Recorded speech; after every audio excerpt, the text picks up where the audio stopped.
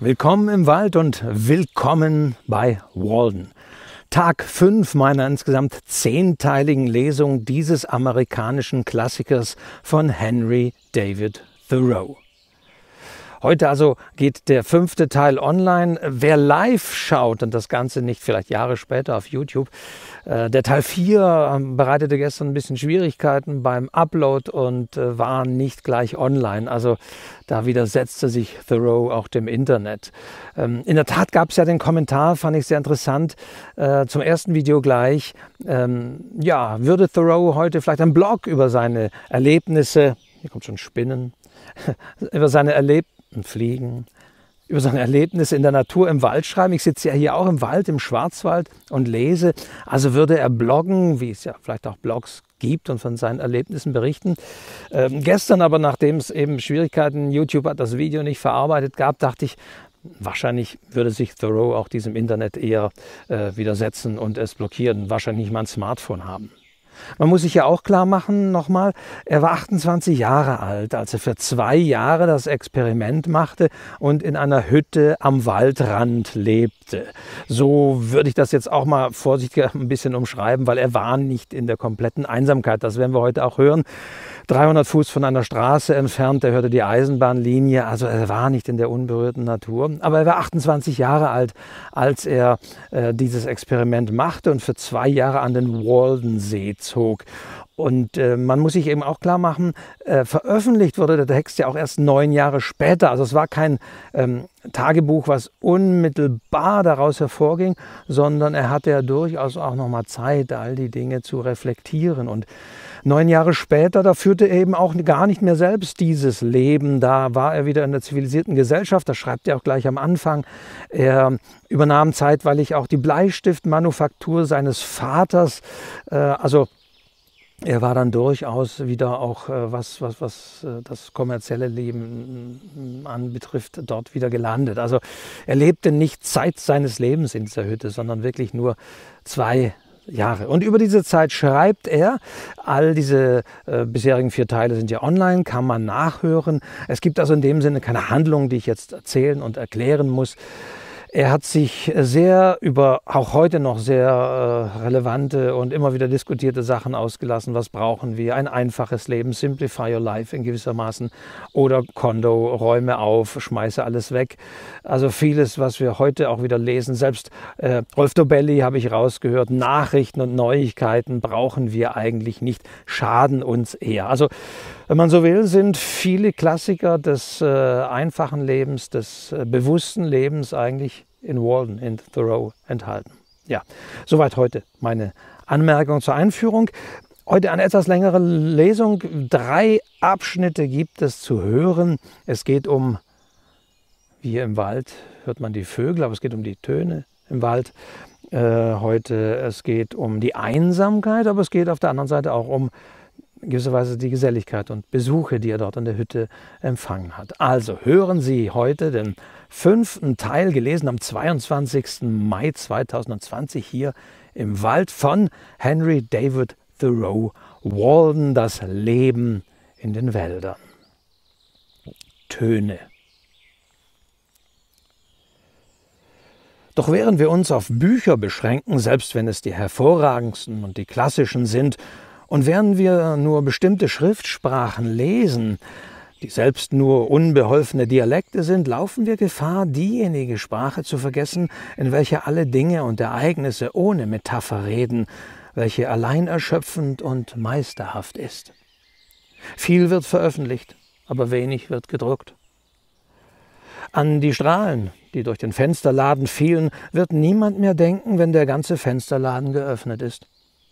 Keine Methode, keine Disziplin kann uns über die Notwendigkeit hinweg helfen, immer die Augen offen zu halten. Was ist ein Kursus über Geschichte, Philosophie oder Poesie? Mag er noch so vorzüglich zusammengestellt sein, was ist die beste Gesellschaft und die bewunderungswürdigste Lebenskunst im Vergleich zu jener Fähigkeit, die Dinge zu sehen, die wirklich zu sehen sind? Willst du nur ein Leser, ein Forscher sein oder ein Sehender. Lies dein Schicksal, sieh, was vor dir liegt und wandle hinein in die Zukunft. Im ersten Sommer las ich keine Bücher. Ich hackte meine Bohnen. Ja, oftmals tat ich noch etwas Besseres. Es gab Zeiten, wo ich es nicht über mich gewinnen konnte, die Blüte des Augenblicks irgendeiner Arbeit des Kopfes oder der Hände zu opfern. Ich liebe es, meinem Leben einen weiten Spielraum zu geben. Bisweilen saß ich an einem Sommertage, nachdem ich mein gewohntes Bad genommen hatte, vor meiner Tür im Sonnenschein von Sonnenaufgang bis zur Mittagsstunde, traumverloren zwischen Fichten, Walnuss und Sumachbäumen, in ungestörter Einsamkeit und Stille, während die Vögel ringsum sangen oder geräuschlos durch das Haus flatterten. Und erst wenn sich die Sonne in dem westlichen Fenster meines Hauses spiegelte oder wenn das Rollen eines Reisewagens von der fernen Landstraße zu mir drang, erinnerte ich mich daran, wie schnell die Stunden verflogen. An solchen Tagen wuchs ich wie der Mais in der Nacht. Sie waren auch weitaus besser, als irgendein Werk meiner Hände hätte sein können. Sie wurden meinem Erdenwalten nicht abgeschrieben, sondern zugelegt. Ich verwirklichte das, was die Orientalen unter Beschaulichkeit und Arbeitsentsagung verstehen. Meistens dachte ich gar nicht daran, dass Stunde auf Stunde verrann. Der Tag brach an, als ob er mein Werk beleuchten wolle. Es war Morgen und siehe da, nun ist es Abend und nichts von Bedeutung wurde getan. Statt wie die Vögel zu singen, war ich innerlich heiter über mein dauerndes Glück. Wie der zwitschernde Spatz der auf dem Walnussbaum vor meinem Hause sitzt, so habe auch ich mein Lachen, mein Trillerlied, das vielleicht aus meinem Nest zu ihm hinüberschallt. Meine Tage waren keine Wochentage, waren nicht nach irgendeiner heidnischen Gottheit benannt, sie waren nicht in Stunden zerhackt, noch durch das Ticken einer Uhr zerfetzt. Nein, ich lebe wie die Pyriidianer, die wie man erzählt, für gestern, heute und morgen nur ein Wort besitzen. Sie modifizieren es dadurch, dass sie für gestern rückwärts, für morgen vorwärts und für heute nach oben deuten. Ich weiß sicher, dass meine lieben Mitbürger darin nur eine unglaubliche Faulheit erblicken. Doch wenn Vögel und Blumen mich mit ihrem Maß gemessen hätten, wäre ich nicht zu leicht befunden. Ein Mensch muss von innen heraus seine Impulse bekommen, das steht fest. Der Tag an sich ist sehr ruhig und wird ihm kaum seine Trägheit zum Vorwurf machen. Jedenfalls hatte ich vor der Lebensweise anderer Menschen, die in Vergnügungen, Theater und Gesellschaften aufgehen, mit meiner Lebensweise den Vorzug, dass mein Leben selbst ein Genuss war und nie aufhörte, neu zu sein. Es war ein Schauspiel mit vielen Szenen und ohne Schluss. Würden wir immer versuchen, nach den letzten und besten Regeln, die wir lernten, unser Brot zu verdienen, unser Leben zu verbringen, so würde uns Langeweile sicher niemals plagen. Folge dem Fluge deines Genius unmittelbar, und er wird dir getreulich in jeder Stunde neue Perspektiven eröffnen. Hausarbeit war ein willkommener Zeitvertreib. Wenn mein Fußboden schmutzig war, stand ich frühzeitig auf und setzte alle meine Möbel draußen auf das Gras. Bett und Bettstelle trug ich dabei auf einer Schulter. Dann sprengte ich die Dielen mit Wasser, streute weißen Sand aus dem Teiche hinauf und bürstete sie mit dem Besen, und um die Zeit, wo die Dorfbewohner ihr nächtliches Fasten brachen, hatte die Morgensonne bereits mein Haus so weit getrocknet, dass ich wieder einziehen konnte, ohne dass mein Gedankenflug eine Unterbrechung erlitt. Es machte mir Freude, meine ganze Hauseinrichtung dort draußen auf dem Gras zu sehen, wo sie einen kleinen Haufen bildete, wie das Bündel eines Zigeuners. Daneben stand mein dreibeiniger Tisch inmitten von Fichten und Walnussbäumen, von welchem ich Bücher, Feder und Tinte nicht entfernte. Ein jedes schien froh, wenn es ins Freie getragen, betrübt, wenn es wieder hineingetragen wurde. Bisweilen kam ich in Versuchung, ein Zeltdach über alles zu spannen und mich darunter niederzulassen. Es lohnte sich schon der Mühe zu beobachten, wie die Sonne auf all diese Dinge schien, wie der Wind darüber hinstrich. Die vertrauten Gegenstände sahen im Freien viel interessanter aus als im Hause. Ein Vogel sitzt auf dem nächsten Ast. Immergrün wächst unter dem Tisch, Brombeerranken schlingen sich um des Tisches Füße, Tannenzapfen, stachelige Höhlen der Kastanien und Erdbeerblätter sind über den Boden verstreut. Es hat den Anschein, als ob auf solche Weise diese Formen auf unsere Möbel, Tische, Stühle und Bettstellen übertragen würden, gerade weil sie einst in ihrer Mitte gestanden haben. Mein Haus lag am Abhang eines Hügels, unmittelbar am Rand eines größeren Waldes, inmitten einer jungen Anpflanzung von Harztannen und Walnussbäumen, etwa dreißig Schritte vom Teich entfernt, zu dem ein schmaler Fußpfad den Hügel hinunterführte. In meinem Vorgarten wuchsen Erdbeeren, Brombeeren und Immergrün, Beifuß und Goldstab, Zwergeichen und Sandkirschen, Heidelbeeren und Erdnüsse. Gegen Ende Mai schmückte die Sandkirsche Cerasus pumila die Seiten des Wagens, Weges mit ihren Blüten, die in Dolden zylindrisch um die kurzen Stängel stehen. Im Herbst aber hingen die Stängel durch die großen und schönen Kirschen niedergebogen in Girlanden wie Strahlenbündel an beiden Seiten über den Weg. Ich kostete die Früchte der aus Höflichkeit gegen die Natur. Sie waren indessen nicht wohlschmeckend. Der Sumach, Rus glabra, wuchs im Überfluss um das Haus herum, arbeitete sich durch den Erddamm, den ich aufgeschüttet hatte, und erreichte im ersten Jahr eine Höhe von fünf bis sechs Fuß. Sein breites, gefiedertes tropisches Blatt bot einen schönen, wenn auch seltsamen Anblick dar. Die großen Knospen, die erst spät im Frühling plötzlich aus den trockenen, scheinbar abgestorbenen Stängeln hervorgesprossen, entwickelten sich wie durch Zauberkraft zu anmutigen, grünen, zarten Zweigen von einem Zoll im Durchmesser. Und so sorglos wuchsen sie, so sehr überanstrengten sie ihre schwachen Glieder, dass ich bisweilen, wenn ich an meinem Fenster saß, einen frischen und zarten Ast plötzlich wie einen Fächer zur Erde fallen hörte, während sich kein Lüftchen Mädchen regte. Sein eigenes Gewicht brach ihn. Im August nahmen die zahllosen Beeren, deren Blüten viele wilde Bienen angelockt hatten, allmählich eine helle, sammetartige, karmäusinrote Farbe an. Auch sie bogen und brachen durch ihr Gewicht die zarten Stängel. Während ich jetzt an diesem Sommernachmittage an meinem Fenster sitze, kreisen Habichte über meiner Lichtung der pfeilschnelle Flug wilder Tauben, die zu Zweien oder Dreien meinen Blick kreuzen oder ruhelos auf den Ästen der Weißtannen hinter meinem Hause auf und abhüpfen, verleiht der Luft eine Stimme.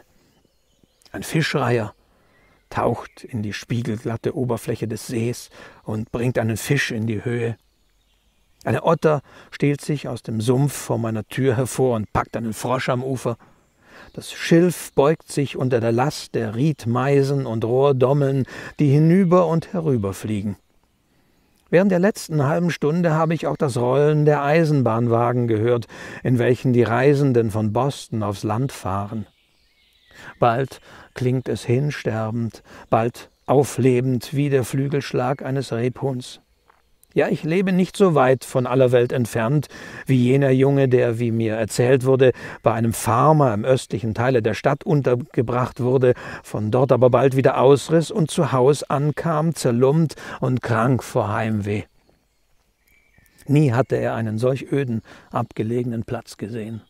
Die Leute waren alle von dort fortgezogen, ja selbst die Dampfpfeife konnte man dort nicht hören. Ich bezweifle, ob es jetzt noch einen solchen Platz in Massachusetts gibt. Denn jetzt nun ist auch unser Dorf ein Ziel für einen jener windesschnellen Eisenspeere und über unsere Felder stille Einsamkeit halt sanft der Ruf Concord. Die Fitchburger Bahn berührt den Teich ungefähr 500 Schritte südlich von meiner Wohnung. Gewöhnlich gehe ich auf dem Eisenbahndamm zum Dorfe. Ich bin somit durch dieses Band gleichsam mit der Zivilisation verbunden. Die Leute auf den Güterzügen, welche die ganze Strecke abfahren, grüßen mich wie einen alten Bekannten. Sie fahren so oft an mir vorbei, dass sie mich augenscheinlich für einen Beamten halten.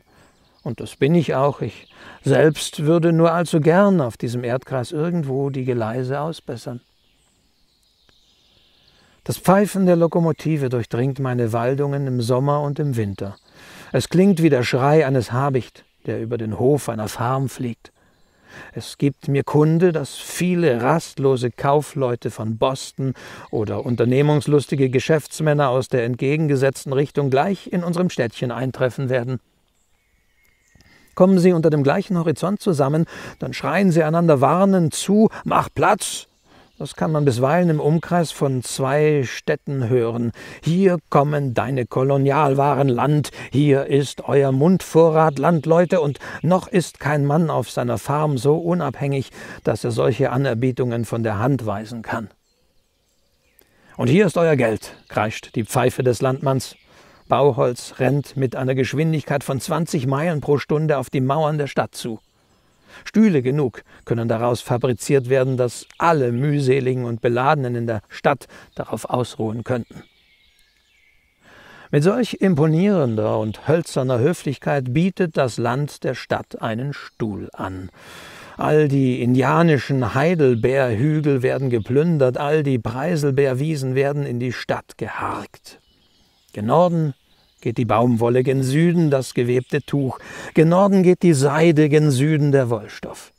Hinauf gehen die Bücher, aber der Geist, der in ihnen wohnt, geht bergab.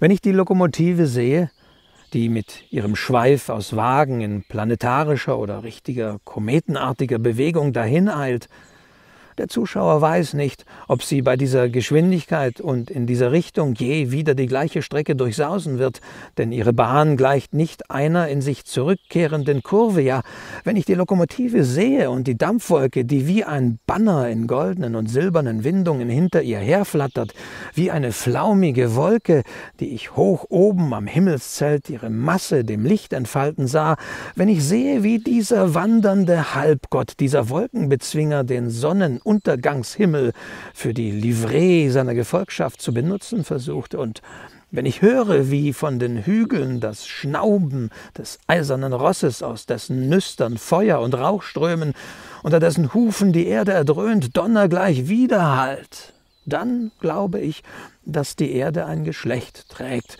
welches würdig ist, sie zu bewohnen. Allerdings weiß ich nicht, welche feuerspeienden Drachen oder welches geflügelte Pferd die Menschen in die neue Mythologie aufnehmen werden. Oh, dass doch alles so wäre, wie es scheint. Wenn doch die Elemente nur zu edlen Zwecken den Menschen Sklavendienste zu leisten hätten. Wenn die Wolke, die über der Lokomotive schwebt, die Ausgeburt heroischer Taten oder so wohltuend wäre wie die Himmelswolke, die über des Landmanns Felder zieht, dann würden die Elemente und die Natur selbst mit Freuden die Menschen auf Weg und Steg begleiten und beschützen. Ich beobachte das Vorüberkommen des Morgenzuges mit dem gleichen Gefühl wie den Sonnenaufgang, der kaum regelmäßiger vor sich geht. Die Wolkenschleppe erstreckt sich in weite Ferne, steigt immer höher bis zum Himmel hinan, während der Zug hinab nach Boston fährt. Eine Minute lang ist die Sonne hinter ihr verborgen.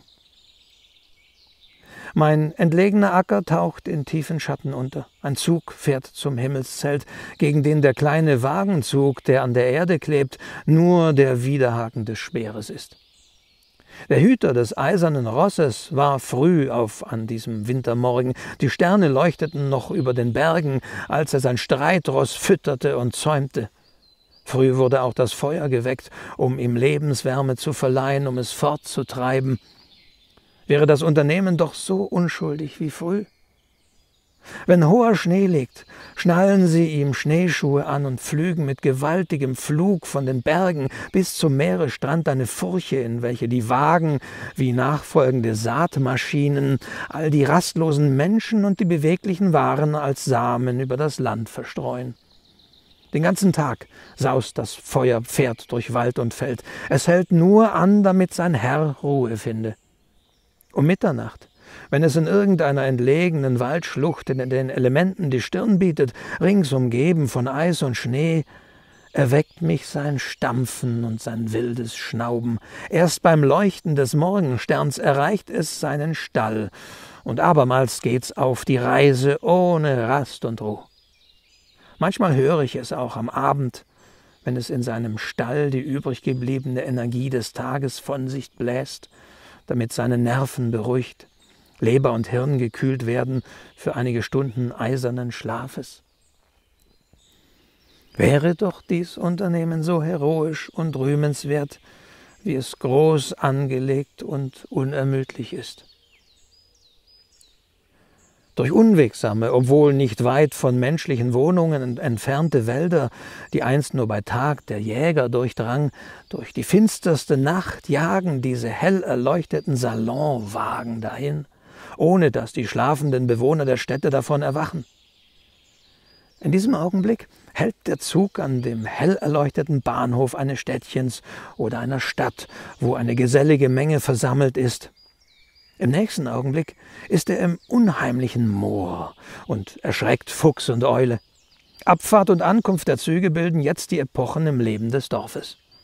Sie kommen und gehen mit solcher Regelmäßigkeit und so pünktlich, ihr Pfeifen kann man so weit hören, dass die Farmer ihre Uhren danach stellen. Sind die Menschen seit Erfindung der Eisenbahn nicht etwas pünktlicher geworden? Sprechen und denken sie nicht schneller auf dem Bahnhof als vor der Posthaltestelle? Etwas Elektrisierendes liegt in der Atmosphäre eines Bahnhofs. Ich bin über die Wunder, die er bewirkt, erstaunt. Einige von meinen Nachbarn, von denen ich bestimmt ein für alle Mal vorausgesetzt hätte, dass sie eine solch systematisch pünktliche Fahrgelegenheit nach Boston niemals benutzen würden, sind zur Stelle, wenn die Glocke an der Lokomotive ertönt. Etwas wie die Eisenbahn tun, ist jetzt geradezu sprichwörtlich geworden. Man kann sich übrigens nur freuen, dass man so oft und so nachdrücklich daran erinnert wird, drohenden Gefahren aus dem Wege zu gehen. In diesem Falle gibt es keine Verzögerung durch das Vorlesen der Aufruhrakte, durch Schießen über die Köpfe des Pöbels. Wir haben ein Fatum, wir haben eine Atropos geschaffen, die nie von ihrem Wege abwich. Wie gefällt euch der Name für eure Lokomotive? Man hat den Menschen mitgeteilt, dass diese Donnerkeile zu einer bestimmten Stunde und Minute nach verschiedenen Punkten des Kompasses geschleudert werden. Dadurch wird jedoch niemand in seinem Geschäft gestört und die Kinder benutzen ein anderes Geleise, um in die Schule zu gehen. Wir leben dafür umso stetiger. Wir werden auf diese Weise alle zu Söhnen Tells erzogen. Die Luft ist voll unsichtbarer Pfeile. Jeder Pfad ist der Pfad des Schicksals, ausgenommen dein eigener. So bleibe denn in deinem Gleise. Für den Handel spricht sein Unternehmungsgeist und seine Unerschrockenheit. Er faltet nicht die Hände und betet zum Jupiter. Ich sehe diese Menschen Tag für Tag mit mehr oder weniger Mut und Zufriedenheit an ihr Geschäft gehen, in welchem sie mehr leisten, als sie ahnen und vielleicht besser sich betätigen, als sie sich je träumen ließen. Der Heldenmut jener Leute, die einst eine halbe Stunde lang bei Buena Vista in der Front standen, macht auf mich weniger Eindruck als die beharrliche und freudige Tapferkeit derjenigen, die Winterquartiere im Schneepflug beziehen, die nicht nur den Mut um drei Uhr morgens früh besitzen, den Napoleon für den seltensten hielt, sondern auch den Mut, nicht so früh zu Bett zu gehen, die nur schlafen, wenn der Sturm schläft oder wenn die Sehnen des eisernen Rosses erfroren sind. Heute zum Beispiel, wo ein gewaltiger Schneesturm tobt, der des Menschen Blut erstarren macht, höre ich aus den Nebelwolken ihres erfrorenen Atems heraus den gedämpften Ton der Lokomotivglocke, der verkündet, dass der Zug trotz allem kommt, ohne große Verspätung, dem neuenglischen Nordostschneesturm zum Trotz. Ich sehe sogar die schnee- und reifbedeckten Lokomotivführer über die spitze Kante des dreieckigen Schneepfluges, der allerdings etwas anderes als Maßlieb oder Feldmausnester zerstört, ragen ihre Köpfe empor wie runde Felsblöcke von der Sierra Nevada. Sie scheinen einen Außenplatz in der Schöpfung einzunehmen. Handel treiben heißt, es klingt überraschend, Vertrauen haben. Heiter, wachsam, wagemutig und unermüdlich sein. Der Handel benutzt übrigens ganz natürliche Wege, jedenfalls natürlichere, als manche fantastische Unternehmungen und sentimentale Experimente zu wandeln pflegen, und daher rührt sein einzigartiger Erfolg. Es erfrischt mich, meine Spannkraft wächst, wenn der Güterzug an mir vorüberdonnert. Ich rieche die Waren, die ihren Duft auf dem ganzen Wege von Long Wharf bis zum Champlainsee verbreiten. Ich werde an fremde Länder erinnert, an Korallenriffe, an den Indischen Ozean, an die Tropen und an die Größe der Erde. Wenn ich Palmblätter sehe, die im nächsten Sommer manche Blondköpfe bedecken werden, Manila-Hanf, Kokosnussschalen, altes Gerümpel, Hanfsäcke, altes Eisen und rostige Nägel, dann fühle ich mich mehr als Weltbürger. Die Wagenladung zerrissener Segel ist lesbarer und interessanter, als wenn sie zu Papier verarbeitet und in gedruckte Bücher verwandelt ist. Wer kann die Geschichte der Stürme, denen sie preisgegeben waren, trefflicher schildern als diese Risse in den Segeln? Das sind Korrekturbogen, die keiner Korrektur bedürfen. Hier kommt Bauholz aus den Wäldern von Maine, das bei der letzten Überschwemmung nicht in die See hinausgespült wurde, weil so viel fortgeschwemmt und zersplittert wurde, werden tausend Fuß jetzt um vier Dollar höher bezahlt. Tannen, Fichten, Zedernholz, erster, zweiter, dritter, vierter und doch noch vor kurzem von derselben Qualität damals, als es über dem Bären, dem Elentier und dem Karibu rauschte. Dahinter rollt Kalk aus Thomasten, Prime Ware, es wird weit in die Berge hineingefahren, bevor man ihn löscht. Die Ballen dort enthalten Lumpen in allen Farben und Qualitäten, das letzte Schicksal der Kleider. Baumwolle und Leinen sind auf ihre niedrigste Stufe gesunken. Die Muster, die nun nie wieder angepriesen werden, vielleicht nur irgendwo im wilden Westen, und die schönsten Erzeugnisse in englischem, französischem oder amerikanischem Calico, Gingham, Musselin und so weiter, zusammengesucht aus allen Quartieren des Reichtums und der Armut, werden nun bald zu einfarbigem oder noch schwach getöntem Papier verarbeitet. Und auf dieses werden dann, wer wagt es zu bezweifeln, wahre, auf Tatsachen beruhende Geschichten aus dem wirklichen Leben, aus dem erhabenen und dem gemeinen Leben gedruckt. Dieser geschlossene Güterwagen riecht nach Salzfischen, verbreitet den strengen neuenglischen Handelsgeruch, der mich an die See und an Fischerei erinnert. Wer hat noch nie einen Salzfisch gesehen, der auf diese Welt gegen alles gefeit ist, den nichts verderben kann, mit dem man die Straßen kehren und pflastern und Feuerholz spalten kann, der allem Trotze Biss bietet mit einer Ausdauer, die selbst Heilige neidisch machen könnte, der den Fuhrmann und die Ladung vor Sonne, Wind und Regen schützt, der dann vom Krämer, ein Krämer, ein Konkordatz, an die Türpfosten gehängt wird zum Zeichen der Geschäftseröffnung, bis schließlich auch auch der älteste Kunde dieses Herrn nicht mehr bestimmt angeben kann, ob dieses Ding etwas Animalisches, Vegetabilisches oder Mineralisches ist. Wird dieses Ding jedoch in den Topf getan und gekocht, so wird es wieder weiß wie eine Schneeflocke und als Stockfisch beim Mittagessen am Samstag für ausgezeichnet erklärt. Dann folgen spanische Fälle, die Schweife sitzen noch daran und zeigen noch jenen Erhebungswinkel, den sie einstens hatten, als die Ochsen, die in diesen Fällen steckten, über die Pampas von Spanisch-Südamerika stürmten. Da haben wir einen Typus für alles Widerspenstige und einen kräftigen Beweis dafür, dass alle konstitutionellen Fehler hoffnungslos und unheilbar sind. Ich muss gestehen, dass ich tatsächlich, wenn ich den wahren Charakter eines Menschen kennengelernt habe, nicht zu hoffen wage, irgendwelchen Einfluss zum Guten oder zum Bösen in dieser Welt auf ihn auszuüben. Der Orientale sagt, eines Köters Schwanz kann man erwärmt, gequetscht und mit festen Binden rings umwickelt werden. Hast du zwölf Jahre lang deine Arbeit darauf verwendet, nimm den Schwanz, nimmt der Schwanz doch wieder seine ursprüngliche Form an. Gegen eine Widerspenstigkeit, wie diese Schwänze sie zeigen, gibt es nur ein einziges wirksames Mittel. Man mache Leim draus. Soviel ich weiß, geschieht das auch meistens. Dann tut sie, was man will und kleben fest.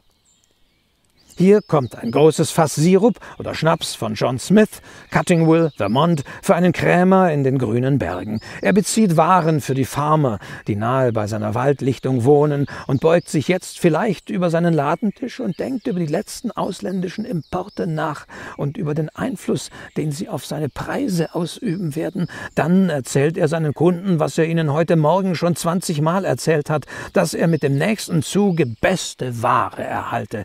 Das steht übrigens auch im Lokalanzeiger für Cutting Will. Während diese Dinge nordwärts eilen, eilen andere gen Süden. Ein zischendes Geräusch trifft mein Ohr. Ich blicke von meiner Buche auf und sehe auf eine mächtige Tanne, die irgendwo im Norden auf einem Hügel gefällt wurde. Sie flog über die grünen Berge und über den Connecticut-Fluss, schießt wie ein Pfeil in zehn Minuten durch das Stadtgebiet und kaum ein anderes Auge sieht sie. Sie geht dahin, um meines Admirals stolzes Schiff als Mast zu dienen, zu zieren. Und horch, da kommt der Viehzug. Vieh auf den Bergen, da sie bei tausend gehen, Schafhürden, Pferdeställe und Kuhställe in der Luft schwebend, Treiber mit ihren Stecken und Hirtenknaben mitten unter ihren Herden. Alles, nur nicht die Weiden am Bergeshang, fährt dahin, die Blätter, die ein frischer Herbstwind von den Bergen wehte. Die Luft ist erfüllt von dem Blöken der Kälber und Schafe, von dem Brüllen der Ochsen, als ob ein Hirtental vorbeizöge. Wenn der alte Leithammel an der Spitze seine Glocke schüttelt, da hüpfeten die Berge wie die Lämmer und die Hügel wie die jungen Schafe. Ein Wagen in der Mitte des Zuges ist mit Treibern angefüllt. Sie unterscheiden sich nicht mehr von den Getriebenen. Ihr Beruf ist jetzt zwecklos. Dennoch klammern sie sich an das Symbol ihres Amtes, an ihren überflüssigen Stecken. Doch wo sind ihre Hunde? Die ganze Herde stob ihnen davon. Sie wurden als unnötig beiseite geschoben. Sie haben die Spur verloren. Ich glaube, ihr Bellen hinter den Peterborough-Hügeln zu hören oder wie sie den Westabhang der grünen Berge hinaufkeuchen. Sie werden nicht dabei sein, wenn ihr Wild verendet. Ihr Beruf ist dahin, ihre Treue und ihr Spürsinn stehen jetzt unter Pari. Die in Ungnade gefallenen werden in ihre Hundeställe zurückschleichen oder verwildern und sich zu Fuchs und Wolf gesellen. Seht, so wird euer pastorales Leben fortgewirbelt, so endet es. Doch da tönt die Zugglocke, ich muss aus dem Geleise gehen, um die Wagen vorüberzulassen. Was kümmert mich die Eisenbahn, um zu sehen, wo sie endet? Habe ich niemals Zeit verschwendet. Ein paar Gräben füllt sie aus. Am Damm bauen Schwalben ihr erdiges Haus. Im Schatten von Bambusgesträuch. Die Räder wirbeln den Sand empor. Ich aber schreite über die Gleise wie über einen Waldpfad. Ich will mir weder Augen noch Ohren von ihrem Rauch und Dampf und Zischen verderben lassen. Jetzt sind die Wagen und die rastlose Welt mit ihnen vorüber. Die Fische im Teich hören das Gerumpel nicht mehr, und ich bin einsamer denn je. Den übrigen langen Nachmittag werden meine Meditationen vielleicht nur noch durch das schwache Gerassel eines Wagens oder eines Karrens auf der fernen Landstraße unterbrochen.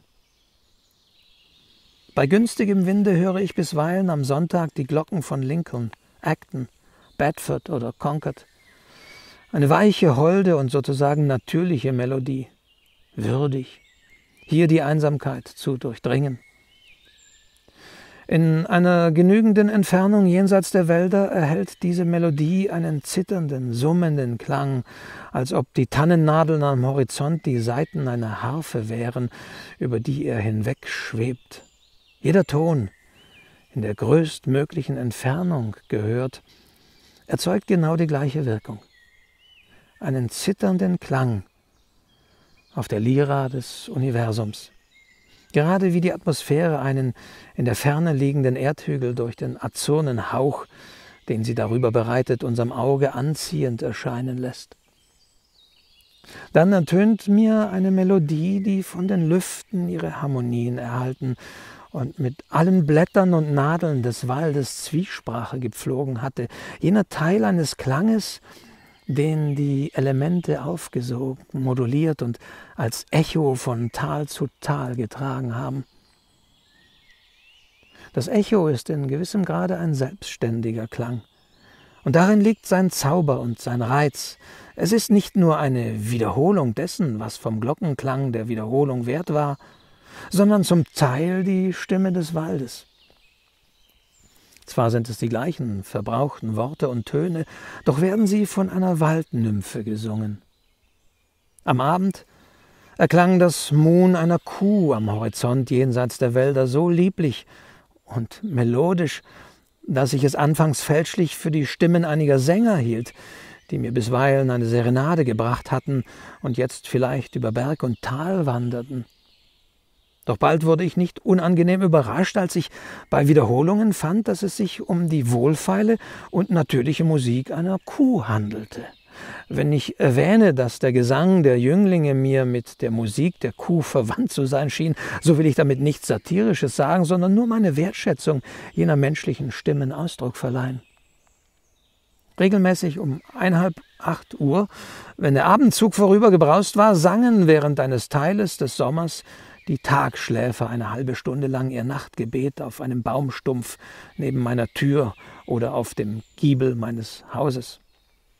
Sie begannen ihren Gesang mit derselben Pünktlichkeit wie eine Uhr, jeden Abend fünf Minuten nach Sonnenuntergang. Ich hatte eine seltsame Gelegenheit, mit ihrer Lebensweise vertraut zu werden. Bisweilen höre ich vier oder fünf von ihnen in verschiedenen Teilen des Waldes, zufällig alle um einen Takt auseinander und so nahe bei mir, dass ich nicht nur das Glucken nach jedem Ton vernehmen konnte, sondern auch oftmals ein eigenartiges Summen, wie es eine Fliege im Spinnennetz erzeugt, nur verhältnismäßig lauter. Manchmal flog solch ein Tagschläfer im Walde, nur einige Fuß von mir entfernt, immer im Kreise um mich herum, als ob er durch einen Faden mit mir verbunden sei. Ich war dann wahrscheinlich nahe beim Neste mit den Eiern. Diese Vögel sangen bisweilen mit gelegentlichen Unterbrechungen die ganze Nacht hindurch. Trotzdem war ihr Gesang vor oder um Tagesanbruch noch ebenso melodisch wie zuvor. Wenn die anderen Vögel schwiegen, beginnen die Knarreulen ihren Gesang, wie Klageweiber ihr uraltes Huhu weise, mitternächtige Hexen. Ihr jammervolles Angstgeschrei klingt ganz Ben Jonsonisch, ein englischer Dramatiker und Lyriker. Nicht das muntere, derbe Uhu, Uhu der Poeten ertönt, sondern ernstlich gesprochen ein feierliches Kirchhofslied. Man hört die gegenseitigen Tröstungen eines Liebespaares, das gemeinsam den Tod gesucht hat und das in einem unterirdischen Totenhain sich der Qualen und Wonnen himmlischer Liebe erinnert. Und doch, ich höre ihr Trauerlied gern, die kummervollen Antworten, die am Waldesrand entlang schweben. Bisweilen werde ich dadurch an Musik und Singvögel gemahnt, an eine Musik der Schwermut und der Tränen, an ein unerfülltes Sehnen und Seufzen, das gern im Lied Erlösung finden möchte. Ja, diese Tiere sind die Geister, die Traurigkeit und die melancholischen Gedanken gefallener Seelen, die einst in menschlicher Gestalt nächtlicher Weile auf Erden wandelten und Taten der Finsternis vollführten, jetzt aber ihre Sünden durch Klagelieder und Trinodien auf dem Schauplatz ihrer Verbrechen abbüßen. Die Mannigfaltigkeit und Größe der Natur, die uns allen Obdach gibt, rückt meinem Verständnis näher.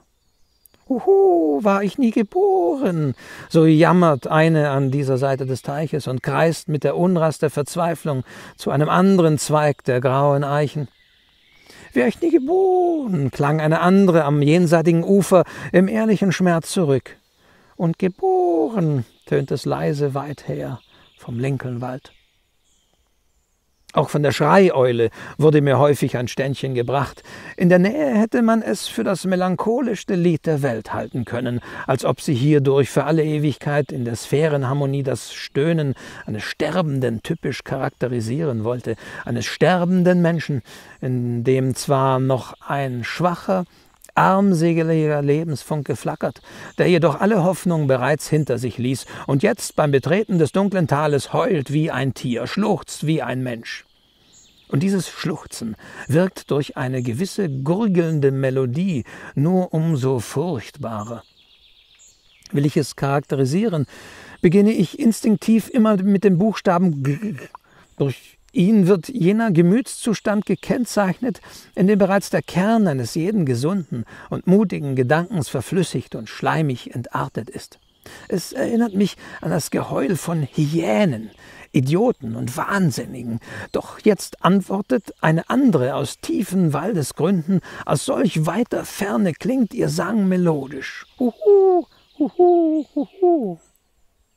Erweckt tatsächlich meistens nur freundliche Gedankenassoziationen, einerlei, ob man sie bei Tag oder Nacht, im Sommer oder im Winter hört. Ich freue mich, dass es Eulen gibt. Sie mögen das blödsinnige, tolle Heulen für die Menschen besorgen. Es ist ein Klang, der wunderbar zu Sümpfen und Zwielichtwäldern passt, in die des Tages Schein nicht dringt. Er lässt uns eine ungeheure, unentwickelte Welt ahnen, die menschlichem Wissen noch nicht erschlossen ist. Die Eule ist das Symbol der tiefen, dämmernden Nacht, der unbefriedigten Gedanken, die uns alle quälen. Den ganzen Tag schien die Sonne auf die Oberfläche eines wilden Moores, dort wo die einsame weiße, flechtenbedeckte Sprossenfichte steht. Kleine Falken ziehen darüber ihre Kreise. Die Schwarzmeise zwitschert zwischen dem Immergrün und Rebhuhn und Kaninchen verstecken sich darunter. Doch nun dämmert ein trüberer, diesem Stück Natur verwandter Tag herauf, und eine andere Gattung von Geschöpfen erwacht, um hier vom Willen und Walten der Natur zu künden. Spät am Abend hörte ich das ferne Rumpeln von Lastwagen, die über Brücken fuhren. Dies Geräusch kann man nachts weiter hören als irgendein anderes. Hunde bellen, und bisweilen mut eine trostlose Kuh fern in ihrem Stall. Inzwischen beginnen die Ochsenfrösche, die trotzigen, noch immer nichts bereuenden Geister alter Weinsäufer und Zechgenossen am ganzen Ufer entlang ihr Trompetenkonzert. Sie versuchen in ihrem stygischen See einen Rundgesang zu singen. Die Waldennymphe wird mir, die Walden-Nymphe wird mir den Vergleich, oder Walden, Nymphe wird mir den Vergleich schon verzeihen, denn wenn es dort auch keine Wasserpflanzen gibt, Frösche sind da, und gar zu gern möchten sie die lustigen Regeln ihrer Festgelage von ehedem aufrechterhalten, obwohl ihre Stimmen heiser und feierlich tief geworden sind, welche Ironie auf ihre Fröhlichkeit obwohl der Wein seine Blume verloren hat und zu einer Flüssigkeit herabgesunken ist, die einem nur den Wanst auftreibt, obwohl auch jene holden Rauschzustände, die das Erinnern an Vergangenes entsticken, nicht mehr eintreten, sondern nur Gefühle der Sättigung und ödematöse Schwellungen. Der Alterspräside dessen Kinn auf einem Herzblatt ruht, das seinem Sabbermaul als Serviette dient, tut am nördlichen Ufer einen tiefen Zug vom einst verachteten Wasser und lässt dann den Becher in die Runde gehen mit dem Trok, Tronk, Tronk und unmittelbar schallt über das Wasser aus irgendeiner fernen Bucht das gleiche Kommando zurück. Der nächste am Alter und Umfang trinkt bis zu seinem Strich herunter, und wenn dieser Zeremonie am Ufer entlang die Runde gemacht hat, dann ruft der Zeremonienmeister aufs Neue Trunk, und jeder wiederholt das Kommando der Reihe nach bis zum aufgeschwollensten, schwarzhaftesten Schlappwanst, damit nur ja kein Fehler gemacht wird. Und immer wieder aufs Neue kreist der Becher, bis die Sonne den Morgennebel zerstreut. Nur der Patriarch ist auch dann noch nicht in die Tiefe getaucht. Er brüllt noch ab und zu sein Trock und lauscht vergeblich auf eine Antwort. Ich weiß nicht genau, ob ich je im Bereich meiner Waldlichtung einen Hahnenschrei vernahm. Ich dachte sogar darüber nach, ob es nicht der Mühe wert sei, einen jungen Hahn nur seiner musikalischen Eigenschaften wegen als Singvogel zu halten. Der Schrei dieses einst wilden indischen Fasanes ist merkwürdiger als alle anderen Vogelstimmen. Könnten diese Tiere unter unseren Himmelsstrichen in Freiheit leben, das heißt, wären sie nicht Haustiere geworden, so würde ihr Krähen bald zum berühmtesten Ton in unseren Wäldern und mehr bewundert werden als der gellende Schrei der Gänse oder das Keulen und Kreischen der Eulen. Man denke auch an das Gackern der Hennen, das in den Pausen ertönt, wenn des gnädigen Herrn helltönende Trompete schweigt. Kein Wunder, dass der Mensch diese Vögel seinen Haustieren zugestellte. Von den Eiern und saftigen Schenkeln will ich gar nicht reden. An einem Wintermorgen durch einen Wald zu gehen, wo diese wilden Hähne in großer Anzahl wohnen und auf den Bäumen in ihrem heimatlichen Walde krähen so hell und durchdringend, dass es meilenweit über die widerhallende Erde tönt und die leisen Sänge anderer Vögel übertönt. Man stelle sich das einmal vor.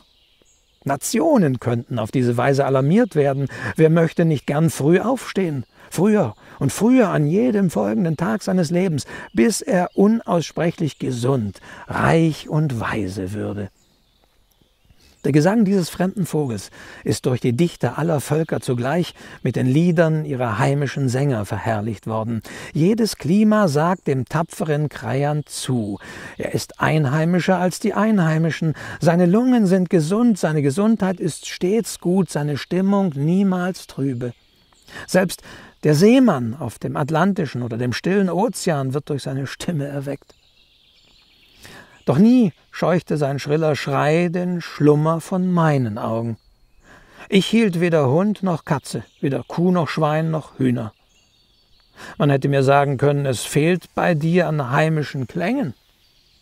Weder ein Butterfass noch ein Spinnrad, weder das Brodeln in Töpfen, das Singen der Teemaschinen noch Kindergeschrei trug dazu, bei traulicher Stimmung zu schaffen. Ein altmodischer Mensch wäre wahnsinnig geworden oder zuvor aus Langeweile gestorben. Auch Ratten in den Wänden gibt es nicht, denn sie wurden ausgehungert oder überhaupt nie angelockt, nichts als Eichhörnchen auf dem Dach und unter dem Fußboden ein Tagschläfer, auf dem Hausgiebel eine Dohle, die unter dem Fenster schreit, ein Hase oder ein Murmeltier unter dem Hause, eine Knarr oder Katzeneule dahinter, eine Schar Wildgänse oder ein lachender Taucher auf dem Teich und in der Nacht ein bellender Fuchs. Selbst Lerche und Goldamsel, diese zutraulichen Plantagenvögel, kommen nicht auf meine Waldlichtung. Kein Hahn, der kräht, keine Henne, die gackert im Hof, kein Hof. Unumzäunt erstreckt die Natur sich bis an die Türschwelle. Ein junger Wald wächst vor dem Fenster empor. Wilder Sumach und Brombeergestrüpp schicken rankende Wurzeln zum Keller hinab. Trotzig reiben und knarren Pechtannen an den Schindeln, um sich Platz zu erobern.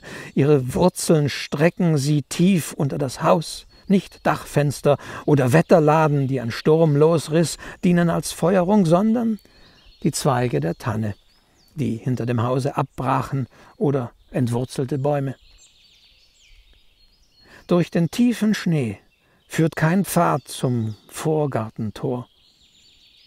Es gibt kein Tor. Es gibt keinen Vorgarten. Es gibt keinen Pfad zur zivilisierten Welt.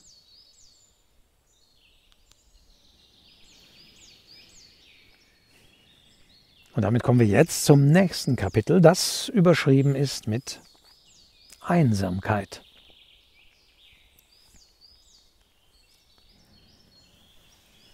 Das ist ein herrlicher Abend. Der ganze Körper ist nur ein Sinn und saugt Entzücken mit jeder Pore ein. Ich wandle mit gar seltsamer Freiheit in der Natur umher. Ich bin ein Teil von ihr. Wenn ich am steinigen Teichufer in Hemdärmeln entlang gehe, obwohl es bewölkt und windig ist und nichts, was meine Aufmerksamkeit besonders erregt, dann fühle ich mich ungewöhnlich stark, allen Elementen zugewandt und verwandt. die Ochsenfrösche trompeten, um die Nacht anzukünden, und der Sang des Tagschläfers wird vom Wellengekräusel über das Wasser getragen. Es besteht ein solcher Einklang zwischen mir und jedem zitternden Erlen oder Pappelblatt, dass ich kaum zu atmen vermag. Und doch ist mein tiefer Friede wie der des Sees nur gekräuselt, nicht gestört. Diese kleinen Wellen, die der Abendwind erweckt, sind so weit vom Sturm entfernt wie die glatte, spiegelnde Oberfläche des Wassers. Jetzt ist es dunkel geworden. Doch noch weht rauschend der Wind durch den Wald, noch plätschern die Wellen und ein Geschöpf singt des anderen zur Ruhe. Die Ruhe ist nie vollkommen. Die wilden Tiere rasten nicht, sondern suchen ihre Beute. Fuchs und Skunk und Kaninchen durchstreifen jetzt furchtlos Felder und Wälder. Sie sind die Nachtwächter der Natur, Bindeglieder, welche die Tage regen Lebens miteinander verbinden. Nach Hause zurückgekehrt bemerke ich, dass Besucher da gewesen sind und ihre Karten zurückgelassen haben. Eine Handvoll Blumen, einen Kranz aus Immergrün oder einen Namen, der mit Bleistift auf ein gelbes Walnussblatt oder auf einen Span geschrieben wurde. Leute, die selten in den Wald kommen, nehmen gern ein Stückchen Wald in die Hände, um beim Wandern damit zu spielen. Nachher werfen sie es irgendwo fort, absichtlich oder zufällig. Irgendjemand hat eine Weidenrute abgeschält, einen Ring daraus geformt und ihn auf meinen Tisch gelegt entweder an den umgebogenen Zweigen und Grashalmen oder an den Fußspuren, konnte ich immer erkennen, ob Besucher während meiner Abwesenheit dagewesen waren. Ja, auch über ihr Geschlecht, ihr Alter und ihren Charakter wurde ich meistens aufgeklärt durch irgendeine unbedeutende zurückgelassene Spur, durch eine zur Erde gefallene Blume, durch ein Büschel Gras, das man ausgerissen und wieder fortgeworfen hatte, oder durch den noch in der Luft schwebenden Geruch einer Zigarre oder Pfeife. Eine halbe Meile weit bis zur Eisenbahn fand ich solche Spuren. Dass überhaupt ein Wanderer auf der ungefähr 300 Schritte entfernten Landstraße vorbeizog, erfuhr ich häufig nur durch den Duft seiner Pfeife. Meistens ist genügend Raum um uns herum. Unser Horizont stößt niemals dicht an unsere Ellbogen. Das Waldesdickicht ist nicht unmittelbar vor unserer Tür, auch nicht der See, sondern ein kleines Stück Natur ist für jeden von uns freigelegt, uns vertraut und angepasst, auf irgendeine Weise von uns erobert und umzäunt. Von der Natur für uns zurückgefordert. Wozu habe ich diese weite, mehrere Quadratmeilen großes Waldgebiet zu meinem Privatgebrauch von meinen Mitmenschen erhalten? Mein nächster Nachbar wohnt eine Meile weit entfernt. Im Umkreis von einer halben Meile ist von meinem Wohnort aus kein anderes Haus zu sehen. Nur dann vielleicht, wenn man auf einen Gipfel der Hügel steigt.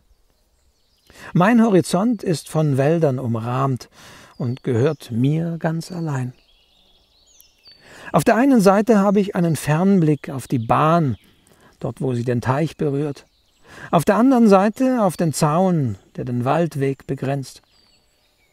Im Übrigen ist es hier, wo ich lebe, so einsam wie auf den Prärien. Hier ist gerade so gut Asien oder Afrika wie Neuengland.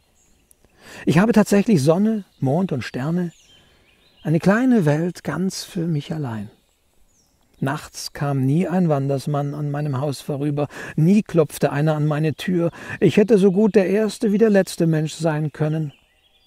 Nur im Frühjahr trafen nach langer Pause ein paar Menschen aus dem Dorf ein, um Bricken zu fischen.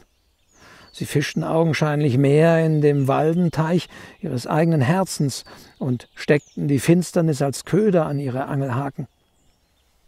Nach kurzem Verweilen zogen sie jedoch meistens mit fast leeren Körben ab und überließen die Welt der Finsternis und mir.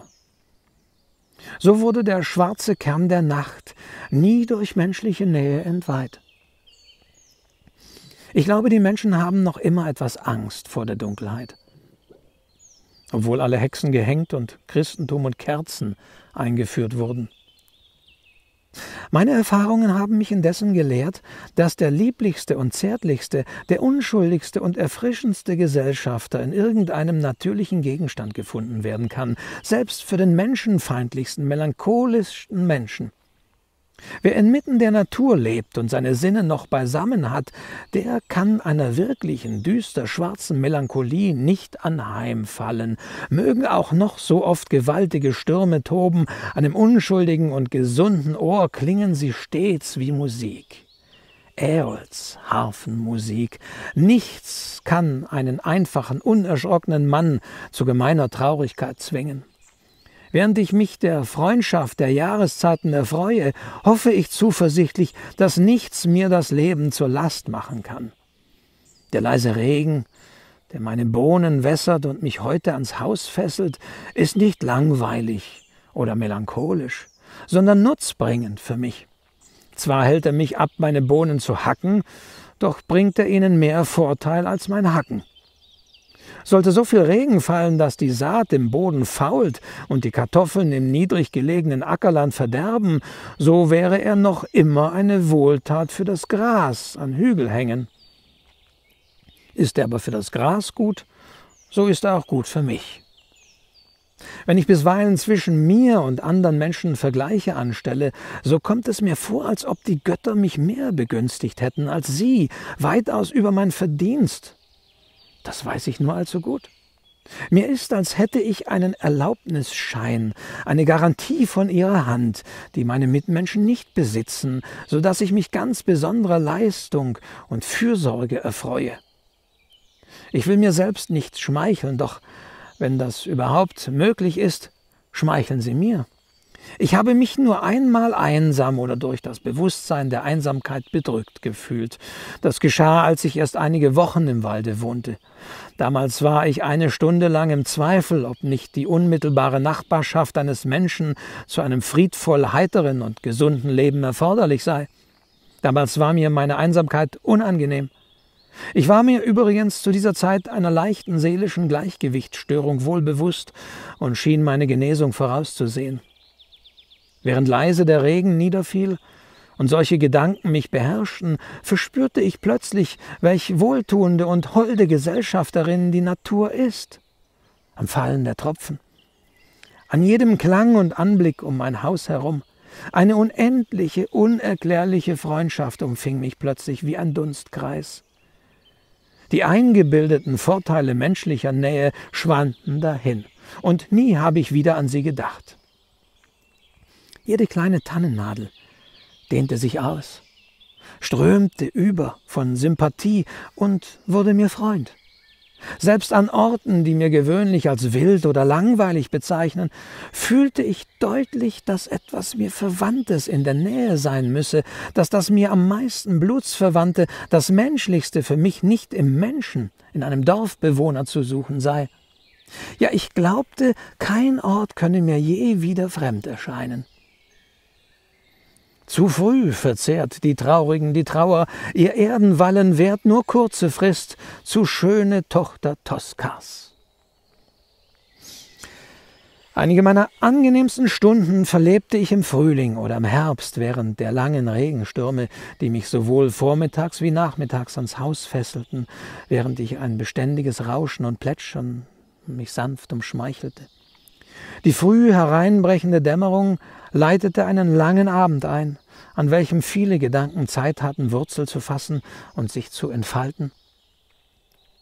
Und wenn dann von Nordosten her die Regenstürme kamen und die Häuser im Dorf so arg bedrängten, dass die Mägde mit Scheuerlappen und Eimer an der Haustür standen, um die Sintflut nicht hereinzulassen, da saß ich hinter meiner Tür in meinem kleinen Hause, das nichts wie Eingang war, und erfreute mich seines Schutzes in aller Ruhe.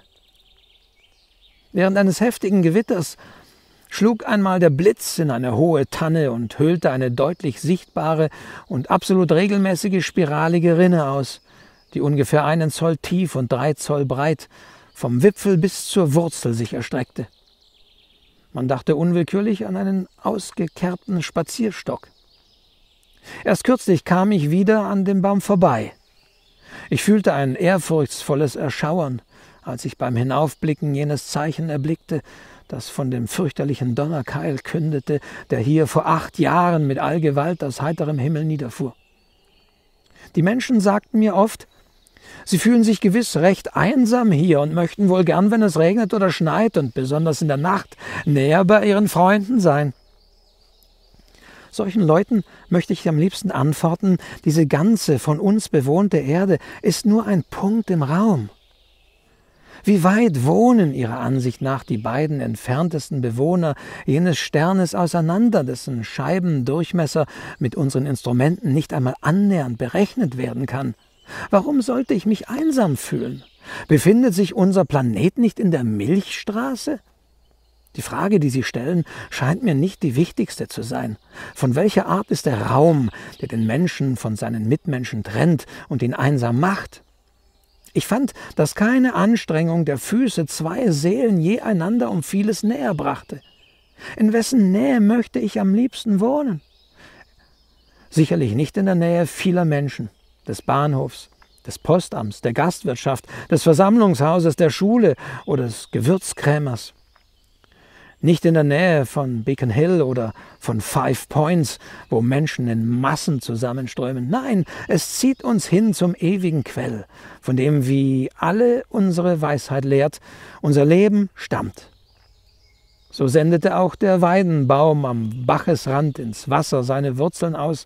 Verschiedene Individualitäten werden verschieden wählen, doch gerade hier wird ein weiser Mann seine Hütte bauen.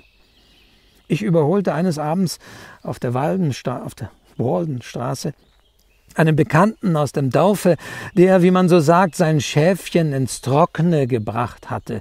Auf mich machte es allerdings nie einen sauberen Eindruck. Er trieb gerade ein paar Ochsen zum Markte und fragte mich, wie ich mich habe entschließen können, so vielen Annehmlichkeiten des Lebens zu entsagen. Ich gab zur Antwort, dass ich mich halbwegs wohl dabei befinde und durchaus nicht spaße.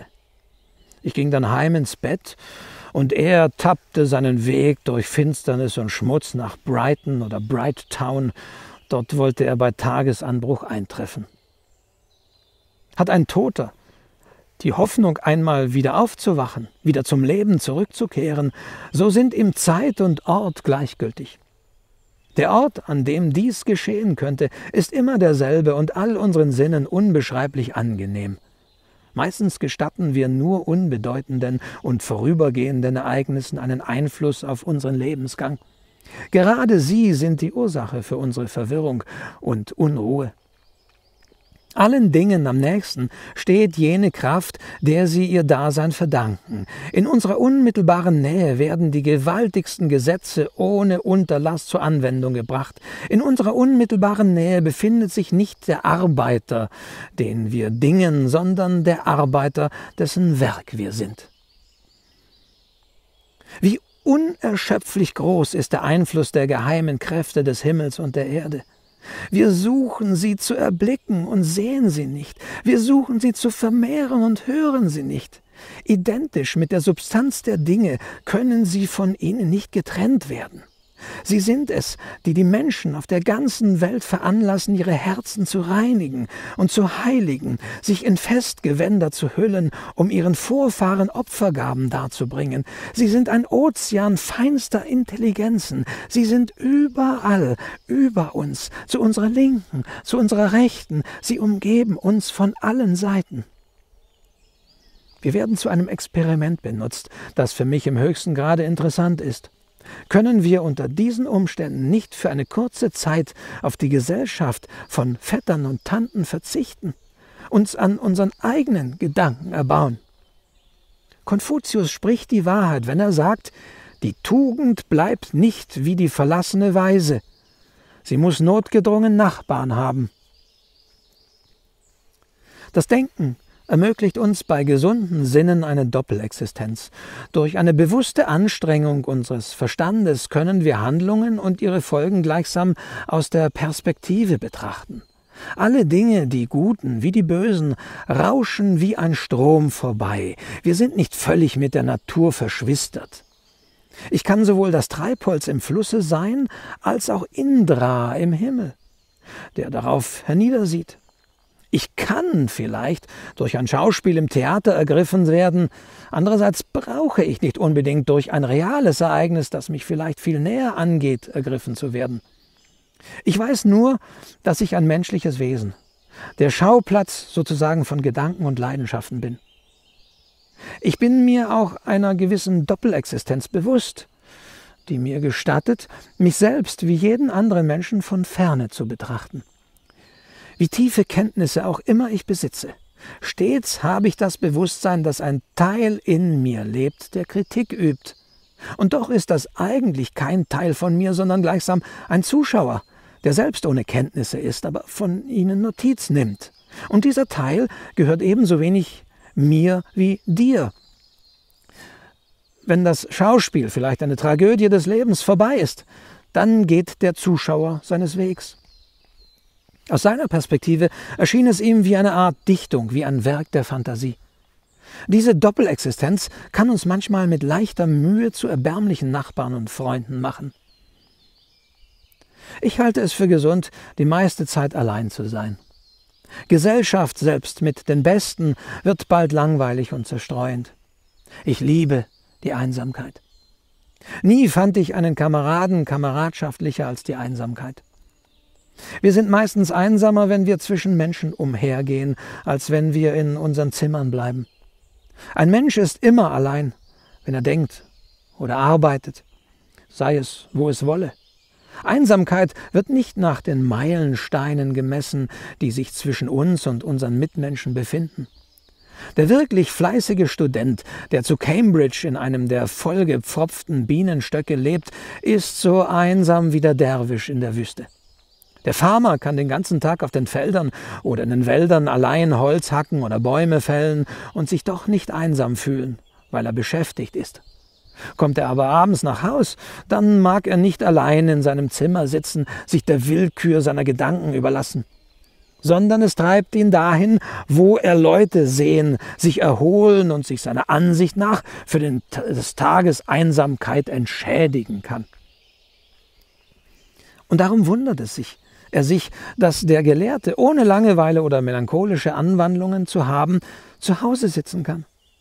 Er vermag natürlich nicht zu begreifen, dass der Gelehrte, obschon er zu Hause bleibt, doch bei der Arbeit auf seinem Felde ist, wie ein Farmer Holz hackt in seinem Felde, dass er für seine Person die gleiche Erholung und Gesellschaft aufsucht wie der Farmer, wenn auch vielleicht in etwas konzentrierterer Form. Gesellschaft ist meistens zu wohlfeil.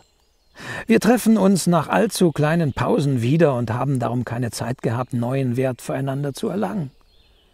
Dreimal täglich sitzen wir bei den Mahlzeiten zusammen und einer gibt dem anderen von dem alten, muffigen Käse, der wir sind, zu kosten. Wir mussten uns einer bestimmten Anzahl von Regeln fügen, die, wie Etikette oder Höfli die wir Etikette oder Höflichkeit nennen, um dies häufige Zusammensein erträglich zu machen, um offene Fehde zu verhüten. Wir treffen einander auf dem Postamt, am Empfangsabenden und am Kamin. Wir leben dicht gedrängt, sind einander im Wege, stolpern übereinander und dadurch verlieren wir, wie mir scheint, etwas den Respekt voreinander. Für jeden wertvollen und herzlichen Verkehr würde ein weniger häufiges Zusammensein genügen. Man denke einmal an Fabrikmädchen. Sie sind nie allein, kaum in ihren Träumen. Es wäre besser, wenn es nur einen Einwohner pro Quadratmeile gäbe, gerade wie dort, wo ich lebe. Den Wert des Menschen macht nicht seine Haut aus. Wir brauchen ihn darum nicht zu berühren. Man hat mir von einem Manne erzählt, der im Walde verirrt vor Hunger und Erschöpfung am Fuße eines Baumes starb. Seine Einsamkeit wurde ihm durch groteske Visionen erleichtert mit welchen seine durch körperliche Schwäche erkrankte Fantasie ihn von allen Seiten umgab und die er für Wirklichkeit hielt. So können aber auch wir mit unserer körperlichen und geistigen Kraft und Gesundheit beständig durch ähnliche, jedoch normalere und natürlichere Gesellschaft ermuntert werden und zu der Erkenntnis kommen, dass wir nie allein sind. Ich habe viele Gäste in meinem Hause, besonders am Morgen, wenn kein Besuch kommt. Man gestatte mir einige Vergleiche zu gebrauchen, damit dieser oder jener sich einen Begriff von meiner Lage machen kann. Ich bin nicht einsamer als der Taucher, der dort auf dem Teiche so laut lacht, nicht einsamer als der Waldenteich selbst. Was für Gesellschaft hat denn dieser einsame See? Und doch birgt er keinen Trübsinn, sondern Himmelsheiterkeit in seinen Tiefen, in den Azurfarben seines Wassers. Die Sonne ist allein. Nur bei dicker Luft scheinen oft zwei da zu sein, doch die eine ist imitiert. Gott ist allein. Doch der Teufel ist sicherlich nicht allein, der hat gar viele Kameraden, der ist Legion. Ich bin nicht einsamer als eine einzelne Königskerze, als ein Löwenzahn auf dem Wiesengrund, als ein Bohnenblatt, als Sauerampfer, Pferdefliege oder Hummel. Ich bin nicht einsamer als der Mühlenbach, der Wetterhahn, der Nordstern, der Südwind oder ein Aprilschauer, ein Tautag im Januar. Nicht einsamer als die erste Spinne im neuen Haus. Gelegentlich bekomme ich an langen Winterabenden, wenn dicht der Schnee fällt und der Wind in den Wäldern heult, Besuch von einem alten Ansiedler, von dem ursprünglichen Besitzer. Man erzählt, er habe den Waldenteich ausgegraben, mit Steinen gepflastert und mit Tannenwaldungen umsäumt. Er erzählt mir Geschichten aus alter Zeit und neuer Ewigkeit. Uns beiden macht es keine Schwierigkeit, einen frohen Abend voll geselliger Heiterkeit und sonniger Lebensanschauung miteinander zu verbringen, obwohl es weder Äpfel noch Apfelwein gibt. Ja, er ist der klügste und lustigste Freund. Ich liebe ihn von Herzen. Er lebt jedoch noch mehr im Verborgenen wie Joff oder Worley. Man glaubt zwar, dass er gestorben ist, doch niemand sah sein Grab. Eine ältere Dame wohnt ebenfalls in meiner Nachbarschaft, unsichtbar für die meisten Menschen. In ihrem duftenden Kräutergarten wandere ich gern umher, sammle bisweilen Kräuter und lausche ihren Märchen. Sie weiß dieselben meisterhaft zu erzählen und hat einen unerschöpflichen Vorrat bereit. Ihr Gedächtnis reicht weiter zurück als Mythologie. Sie kennt das Urbild jeder Sage weiß, auf welcher Tatsache sie beruht, denn die Ereignisse geschahen allesamt in ihrer Jugendzeit. Eine rotwangige, lustige, alte Dame, der jedes Wetter und jede Jahreszeit behagt und die wahrscheinlich all ihre Kinder überleben wird. Die unbeschreibliche Unschuld und Güte der Natur, Sonne, Wind und Regen, Sommer und Winter gewähren immer da solch gute Gesundheit und solchen Frohsinn. Sie haben so viel Mitgefühl mit dem Menschengeschlecht, dass die Allnatur trauern, der Sonne Glanz erbleichen, die Winde wie Menschen seufzen, die Wolken Tränen regnen, die Wälder ihre Blätter abwerfen und im Hochsommer Trauer anlegen würden, wenn je ein Mensch wahrhaft Ursache hätte, traurig zu sein. Soll ich nicht mit der Erde im Einvernehmen sein? Bin ich selbst nicht zum Teil Blätter- und Pflanzenerde? Was ist das für eine Arznei, die uns glücklich, heiter und gesund erhält? Nicht die deines oder meines Urgroßvaters, sondern die unserer Urgroßmutter Natur. Ihre Universalheilmittel, durch welches sie sich selbst jung erhielt, durch dessen Kraft sie manchen Hundertjährigen überlebte, um aus seinem morschen Gebein neue Kraft zu sammeln, entströmt Feldern und Wäldern. Statt jener Quacksalberstasche mit Mixtur aus dem Acheron oder dem toten Meere, die man aus den langen, stachen, schwer behangenen, schiffartigen Wagen nimmt, welche bisweilen zum Flaschentransport benutzt werden, soll meine Panacee ein Trunk unverdünnter Morgenluft sein. Morgenluft. Wenn die Menschen davon nicht trinken wollen am Urquell des Tages, dann müssen wir auch sie auf Flaschen ziehen und in den Läden verkaufen. Zum Besten derjenigen, die ihre Abonnentenkarte für morgen Luft auf dieser Welt verloren haben. Doch darf man eines nicht vergessen, diese Morgenluft hält sich selbst im kühlsten Keller nicht bis zum Mittag, sondern treibt den Pfropfen von der Flasche und eilt nach Westen, Auroras Spuren folgend. Ich bete nicht zu Hygiea, zur Tochter des alten Kräuterdoktors Esculap. Den Vater findet man ja oft auf Denkmälern abgebildet. In der einen Hand hält er eine Schlange, in der anderen einen Becher, aus dem die Schlange bisweilen trinkt. Ich verehre Hebe, die Jupiter den Becher reicht, die Tochter der Juno und des wilden Lattich.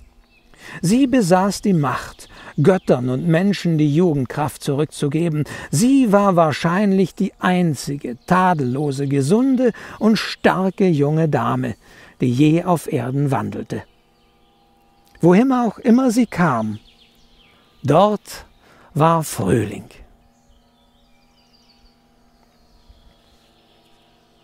Besuch. Ich glaube, dass ich Gesellschaft gerade so liebe wie die meisten Menschen. Ich bin gleich zur Stelle, wenn es gilt, mich wie ein Vampir eine Zeit lang an irgendeinem vollblütigen Menschen, der meinen Weg kreuzt, festzusaugen. Ich bin von Natur aus kein Einsiedler und könnte vielleicht den sesshaftesten Stammgast in der Kneipe an Ausdauer übertreffen, wenn mein Geschäft mich dorthin riefe. Ich habe drei Stühle in meinem Haus. Einen für die Einsamkeit, zwei für die Freundschaft und drei für die Gesellschaft. Wenn unerwartet mehr Besucher kamen, mussten sie sich mit dem dritten Stuhl begnügen. Der Raum wurde dann meistens dadurch gut ausgenutzt, dass sie sich nicht setzten. Es ist erstaunlich, wie viele große Männer und Frauen in einem kleinen Hause Platz haben. Ich sah schon 25 oder 30 Seelen mit ihren Körpern gleichzeitig unter meinem Dache. Und doch hatten wir beim Scheiden oftmals nicht das Gefühl, einander sehr nahe getreten zu sein. Viele unserer Privathäuser und Staatsgebäude scheinen mit ihren fast unzählbaren Zimmern, ihren ungeheuren Hallen und Kellern zum Aufbewahren von Wein und anderer Friedensmunition viel zu groß für die Bewohner. Sie sind so hoch und prächtig, dass die Menschen wie Ungeziefer wirken, das darin haust. Und wenn der Herold vor einem der palastähnlichen Häuser Amerikas sein Horn bläst, dann sehe ich mit Erstaunen als einzigen Bewohner eine lächerliche Maus daraus hervorkriechen, die über die Piazza läuft, um nach kurzer Frist schon wieder in irgendein Loch des Straßenpflasters zu schlüpfen. Eine Unbequemlichkeit machte sich allerdings bisweilen in meinem kleinen Haus bemerkbar die Schwierigkeit, in eine genügende Entfernung von einem Gaste zu gelangen, sobald wir begannen, große Gedanken mit großen Worten zu verkünden. Man muss Raum für seine Gedanken haben, damit sie die offene See gewinnen und einige Male lavieren können, bevor sie den Kurs auf den Hafen nehmen. Die Kugel deines Gedankens muss erst ihre seitliche und die Prallbewegung überwunden und ihre endgültige gleichmäßige Flugbahn angenommen haben, bevor sie das Ohr des Hörers erreicht. Sonst nimmt sie womöglich den Weg durch seinen Kopf von einem Ohr zum anderen. Auch unsere Urteile brauchen Zeit, um sich zu entfalten, um allmählich ihre Kolonnen zu formieren.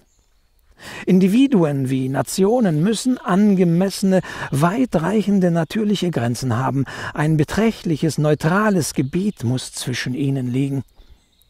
Es gewährt mir einen hochgradigen Genuss, wenn ich mich über die Wasserfläche hin mit einem Bekannten am anderen Ufer des Teiches unterhalten kann. In meinem Hause waren wir so nahe beieinander, dass wir gar nicht anfangen konnten zu hören. Wir konnten nicht leise genug sprechen, um gehört zu werden. Wenn man zwei Steine nahe beieinander ins Wasser wirft, so stört bekanntlich auch ein Wellenkreis den anderen. Sind wir laute Schwätzer, dann allerdings vertragen wir es schon, so nahe beisammen zu stehen, dass einer des anderen Atem spürt. Sind wir aber zurückhaltend und gedankenvoll, dann möchten wir gern weiter voneinander getrennt sein, damit alle Animale Wärme und Feuchtigkeit Gelegenheit hat, sich zu verflüchtigen. wenn wir die intimste Gesellschaft genießen, durch welche gerade das in unserer Seele erweckt wird, was außer oder über uns ist, so müssen wir nicht nur im Schweigen verharren, sondern auch körperlich so weit voneinander entfernt sein, dass der eine auf keinen Fall die Stimme des anderen hören kann. Von diesem Gesichtspunkte aus betrachtet, ist das Gespräch zur Bequemlichkeit der Schwerhörigen da. Es gibt aber viele vortreffliche Dinge, über welche wir nicht reden können, wenn wir schreien müssten. Sobald die Unterhaltung einen stolzeren, erhabeneren Ton annahm, schoben wir unsere Stühle weiter auseinander, bis sie die zwei entgegengesetzten Ecken der Wand berührten. Doch auch dann war gewöhnlich nicht genug Platz da. Meine beste Stube, mein bester Salon, der stets für Besuch hergerichtet war und auf dessen Teppich selten Sonnenstrahlen fielen, war der Fichtenwald hinter meinem Hause. Kamen an Sommertagen vornehme Gäste, so führte ich sie dorthin, und ein unschätzbarer Dienstbote fegte den Boden, stäubte die Möbel ab und gab auf alles wohl Acht. Wenn ein einzelner Gast kam, so nahm er manchmal an meinem fugalen Mahle teil. Wenn ich dann aus Mehl und Milch einen Pudding anrührte und nebenbei das Aufgehen und Garwerden des Brotes in der Asche beaufsichtigte, so erlitt dadurch die Unterhaltung keine Unterbrechung. Wenn aber zwanzig kamen und sich im Kreise niederließen, so wurde vom Mittagessen nichts erwähnt. Und obwohl Brot genug für vielleicht zwei Personen vorhanden war, so stellte man sich so, als ob das Essen eine altmodische Gewohnheit sei. Wir übten Enthaltsamkeit, als sei sie etwas Selbstverständliches. Und darin sah niemand einen Verstoß gegen die Gastfreundschaft. Im Gegenteil, solche Handlungsweise galt als schicklich und rücksichtsvoll. Was an Körperkraft fortwährend verbraucht wird und zerfällt und so oft wieder ersetzt werden muss, schien wunderbarerweise in diesem Falle erhalten zu bleiben. Die Lebenskraft hielt tapfer stand. Deshalb konnte ich ebenso gut tausend bewirten wie zwölf. Und wie je, je, einer enttäuscht oder hungrig von meinem Hause fortging, trotzdem ich zu Hause gewesen war, so kann er sich darauf verlassen, dass ich zum wenigsten mit ihm sympathisierte. So leicht ist es, obwohl viele Hausfrauen es bezweifeln, neue und bessere Sitten an die Stelle der alten zu setzen. Man braucht seinen Ruf nicht auf die Diners zu gründen, die man gibt. Ich persönlich wurde nie von irgendeinem Cerberus so sehr vom Besuch meinen Mitmenschen abgeschreckt, als durch die Komödie, die man machte, um mich zu speisen. Ich sah infolgedessen in ihr einen sehr höflichen Wink von hinten herum, die lieben Leute nie wieder in Unkosten zu stürzen. Solche Szenen werde ich nie wieder aufsuchen. Davon bin ich überzeugt. Ich würde stolz sein, wenn über meiner Hütte als Motto jene Zeilen von Spencer, ein englischer Dichter, von Spencer stünden, die einst einer meiner Besucher auf seiner Visitenkarte auf einem gelben Walnussblatt zurückließ. Dort angekommen füllen sie die kleine Hütte und fordern weder Speis noch Trunk, das wär vergeblich. Zum Labsaal wird die Ruhe. Alles steht zu Diensten. Völlig zufrieden sein kann nur der beste Mensch. Winslow, der spätere Präsident der Plymouth-Kolonie, wanderte einst mit einem Gefährten zu Fuß durch die Wälder, um Massasoit einen Höflichkeitsbesuch abzustatten. Hungrig und durstig kamen sie zum Wigwam des Königs, der sie freundlich empfing. An jenem Tage war jedoch von irgendeiner Mahlzeit nicht die Rede. Als die Nacht hereinbrach, ich will mit ihren eigenen Worten fortfahren, wies er uns einen Platz in seinem Bett neben sich und seinem Weibe an. Sie lagen an dem einen, wir am anderen Ende. Das Lager bestand aus einem etwa einen Fuß über dem Erdboden befindlichen Brett. Eine dünne Matte diente als Zweck. Zwei andere Häuptlinge drückten sich neben uns und auf uns, um überhaupt Platz zu finden. Auf diese Weise ermattete uns unser Quartier mehr als unsere Reise. Um ein Uhr am nächsten Tag brachte Massasoit zwei Fische, die er geschossen hatte, ungefähr dreimal so groß wie ein Brassen. Als diese gekocht waren, hofften nicht weniger als 40 Personen auf einen Bissen. Die meisten bekamen etwas davon. Dies war die einzige Mahlzeit, die wir im Verlauf von zwei Nächten und einem Tag einnahmen. Hätte nicht einer von uns ein Rebhuhn gekauft, so hätten wir die Reise fastend gemacht. Da die Reisenden befürchteten, aus Mangel an Nahrung und auch an Schlaf wahnsinnig zu werden, an Schlaf war nicht zu denken, weil die Wilden sich mit einem unmenschlichen Gebrüll in Schlaf sangen, zogen sie es vor, die schwachen, noch vorhandenen Kräfte zum Heimweg zu benutzen und reisten ab. Allerdings das Quartier war jämmerlich gewesen, obwohl gerade das, was sie als Unbequemlichkeit empfanden, zweifellos eine Ehrung für sie sein sollte. Was aber die Mahlzeiten anbetrifft, ja, da konnten die Indianer meiner Ansicht nach kein besseres Verfahren einschlagen. Sie selbst hatten nichts zu essen und waren zu verständig, um anzunehmen, dass Entschuldigungen ihren Gästen als Ersatz für Speisen dienen könnten. Drum schnallten sie ihre Gürtel enger und verloren kein Wort darüber.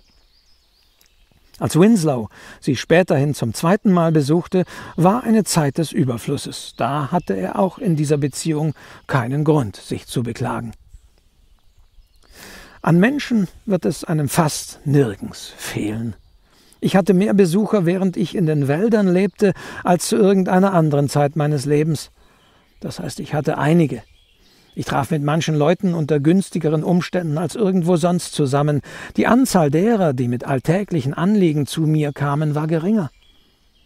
In dieser Hinsicht wurde meine Gesellschaft schon durch die Entfernung von der Stadt durchgesiebt. Ich war so weit auf den großen Ozean der Einsamkeit, in den die Ströme der Gesellschaft münden, hinausgefahren, dass meistenteils insofern meine Ansprüche eine Rolle spielten, nur das feinste Sediment um mich herum sich absetzte. Außerdem wurden mir Beweise von weit entlegenen, unerforschten und unkultivierten Erdteilen zugetragen. Wer kommt da heute Morgen zu meiner Hütte? Ein wahrhaft homerischer oder phaphalogonischer Mann. Phalagonischer Mann. Er hatte einen so passenden und poetischen Namen, dass ich denselben hier zu meinem großen Bedauern nicht drucken lassen kann. Ein Kanadier, ein Holzfäller und Pfostenmacher, der fünfzig Pfosten an einem Tage anfertigen konnte und dessen letztes Abendbrot aus einem Murmeltier bestand, das ein Hund erlegt hatte. Auch er hatte von Homer gehört. Und wenn es keine Bücher gäbe, so wüsste er nicht, was er an Regentagen anfangen solle. Er hatte vielleicht nicht ein einziges Buch in vielen regnerischen Wochen durchgelesen. Irgendein Priester der fernen heimatlichen Gemeinde, ein Priester, der sogar Griechisch aussprechen konnte, hatte ihn gelehrt, Verse im Alten Testament zu lesen. Und jetzt muss ich ihm, während er das Buch hält, die Stelle übersetzen, wo Achilles den Patroklos wegen seiner betrübten Miene tadelt. Warum also geweint, Patroklos? Gleich eine Mägdlein. Hast du etwa allein Botschaft aus Pythia vernommen? Siehe, noch lebt, wie sie sagen, Monielius, Sprössling des Aktor. Auch noch lebt in dem Volk der äakidische Peleus, welche zween wir am meisten betrauerten, wenn sie gestorben. Darauf sagte er, das ist gut. Er hatte ein großes Bündel Weißeichenrinde unter dem Arm. Er sammelte sie heute am Sonntagmorgen für einen kranken Mann. Ich glaube, es ist nichts Böses dabei, wenn man so etwas am Sonntag tut, sagt er. Für ihn war Homer ein großer Schriftsteller, obwohl er nicht wusste, über was Homer geschrieben hatte. Einen einfacheren, natürlicheren Menschen wird man wohl schwerlich finden. Laster, und Krankheit, durch welche auf die Welt ein düsterer Schatten geworfen wird, schienen für ihn kaum zu existieren. Er war ungefähr 28 Jahre alt, hatte Kanada und sein Vaterhaus vor ungefähr zwölf Jahren verlassen, um in den Vereinigten Staaten zu arbeiten, Geld zu verdienen und sich späterhin vielleicht in seiner Heimat eine Farm kaufen zu können. Er war aus grobem Holz geschnitzt, hatte einen stämmigen, schwerfälligen Körper, den er jedoch ganz anmutig zu bewegen wusste, einen starken, sonnenverbrannten Nacken, dunkles, buschiges Haar und trübe, schläfrige blaue Augen, die bisweilen in der Erregung aufleuchteten. Er trug eine eng anliegende graue Tuchmütze, einen schmutzigen, wolligen Überrock und Stiefeln aus Rindsleder. Er war ein starker Fleischesser. Gewöhnlich trug er sein Essen in einem Zinneimer nach seinem einigen Meilen von meinem Hause entfernten Arbeitsplatz. Dort fällte er während des ganzen Sommers Holz. Er aß kaltes Fleisch, obwohl ein kaltes Murmeltier, und trank dazu Kaffee. Ein Steinkrug, der an einem Bindfaden von seinem Gürtel herniederbaumelte, war damit angefüllt. Manchmal bot er mir einen Schluck davon an. Früh am Morgen kam er quer über mein Bohnenfeld dahergeschlendert. Er ging nicht hastig und unruhig zur Arbeit wie die Yankees. Nur keine Überstürzung, schien er zu denken. Ihm genügte es, wenn er nur seinen Lebensunterhalt verdiente. Nicht selten, wenn sein Hund auf der Wanderung ein Murmeltier erlegt hatte, pflegte er sein Mittagessen im Gebüsch stehen zu lassen. Er ging dann anderthalb Meilen zurück, um die Beute herzurichten und im Keller seines Hauses aufzuheben, nachdem er sich eine halbe Stunde lang überlegt hatte, ob er sie nicht bis zum Abend getrost in den Teich versenken könne. Solchen Erwägungen hing er mit Vorliebe nach. Er pflegte auch im Vorübergehen morgens früh zu sagen, wie eng beieinander die Tauben heute wieder fliegen. Wenn ich nicht alle Tage Tagelöhner von Beruf wäre, könnte ich mir alles Fleisch, das ich brauche, durch die Jagd verschaffen. Tauben, Murmeltiere, Kaninchen, Rebhühner, Herr Gott im Himmel, ich könnte alles, was ich für die ganze Woche nötig habe, an einem Tage mir verschaffen. Er war ein geschickter Holzhauer und liebte es, in seiner Kunst Schnörkel und Ornamente anzubringen. Er fällte seine Bäume in horizontaler Linie dicht über dem Erdboden, damit nachwachsende Triebe kräftiger würden, damit auch die Schlitten ungehindert über die Sümpfe gleiten könnten. Anstatt einen ganzen Baum als Stütze für sein aufgeschichtetes Holz unberührt zu lassen, hackte er so viel von ihm ab, dass nur ein schlanker Stab oder ein Splitter stehen blieb, den man schließlich mit der Hand abbrechen konnte. Er interessierte mich, weil er so still und einsam und doch so glücklich war. Eine Quelle des guten Humors und der Zufriedenheit strömte aus seinen Augen. Sein Frohsinn war ungetrübt. Bisweilen besuchte ich ihn im Walde bei der Arbeit beim Baumfällen.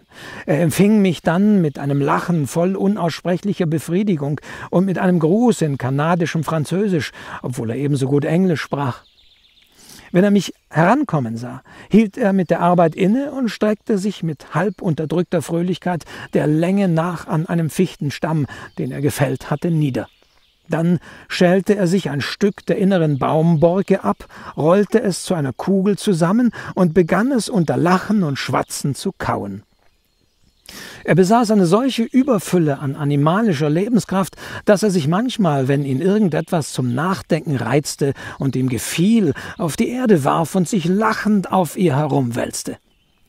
Wenn er rundum die Bäume betrachtete, schrie er Zum Kuckuck, ich habe genug Spaß an meiner Holzhauerei, ich will keine bessere Beschäftigung. Bisweilen hatte er keine Arbeit, dann vergnügte er sich den ganzen Tag lang in den Wäldern mit seiner Taschenpistole. Er schoss für sich selbst beim Herumwandern in regelmäßigen Zwischenräumen Salut.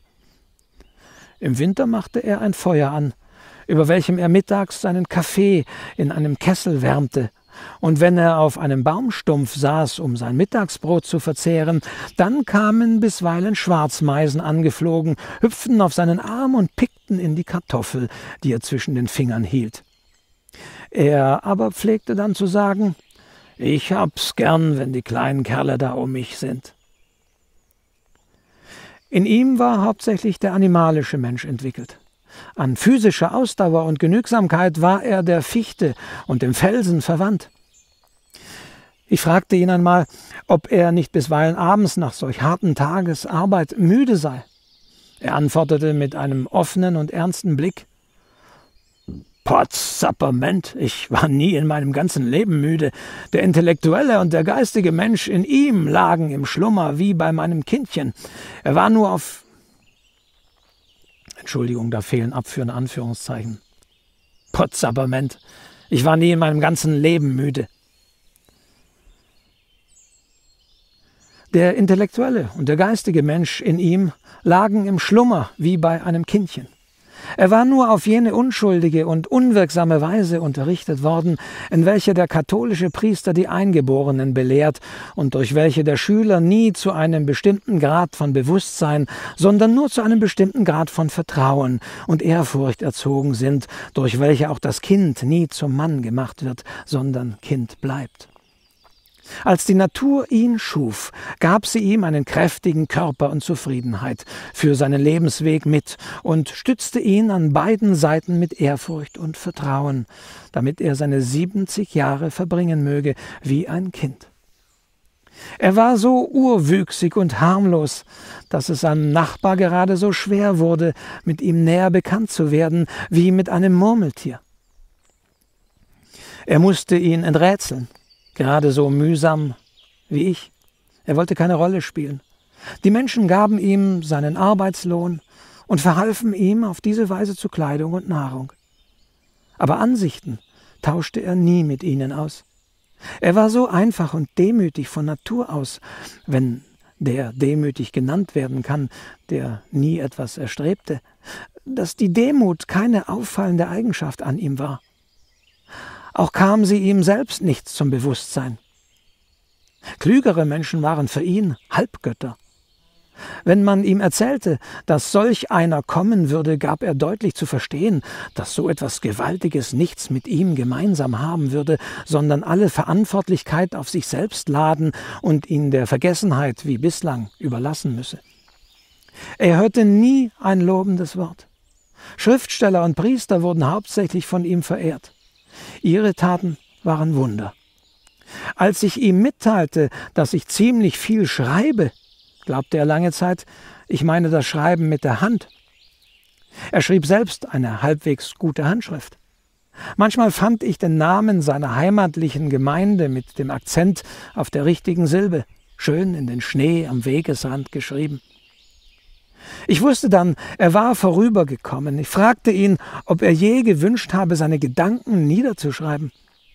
Er gab zur Antwort, dass er Briefe für diejenigen, die dazu nicht imstande waren, gelesen und geschrieben habe. Indessen Gedanken zu schreiben, habe er nie versucht. Nein, das könne er nicht. Er wisse auch nicht, wie er anfangen solle. Es würde ihn umbringen, und dann müsse man doch auch zu gleicher Zeit auf das Buchstabieren acht geben. Ich war dabei, als ein hervorragend begabter Mensch und Reformer ihn fragte, ob er sich die Welt nicht anders wünsche. Er antwortete in seinem kanadischen Akzent aus vollem Halse lachend und ohne zu wissen, dass diese Frage je vorher gestellt worden war Nein, ich bin mit ihr ganz zufrieden. Die Unterhaltung mit ihm konnte in einem Philosophen manchen Gedankengang anregen. Ein Fremder konnte glauben, er wisse nichts von den Dingen im Allgemeinen. Ich aber sah bisweilen in ihm einen Menschen, den ich nie zuvor gesehen hatte. Und ich wusste nicht, ob er so weise wie Shakespeare oder so harmlos dumm wie ein Kind sei. Ob ich ihn für zart oder poetisch empfindend oder für ein beschränktes Wesen halten sollte. Ein Dorfbewohner sagte mir, er habe den Kanadier einst gesehen, als dieser vor sich hinpfeifend durch das Dorf geschlendert sei. Da habe er auf ihn den Eindruck eines verkleideten Prinzen gemacht. Seine einzigen Bücher waren ein Almanach und eine Arithmetik. Das Rechenbuch kannte er ganz genau. Der Almanach war eine Art Konversationslexikon für ihn. Er glaubte, darin wären die Grundbegriffe des gesamten menschlichen Wissens enthalten. In gewissem Sinne ist das ja auch der Fall. Ich suchte mit Vorliebe seine Ansicht über die verschiedenen Reformen der Gegenwart zu erfahren.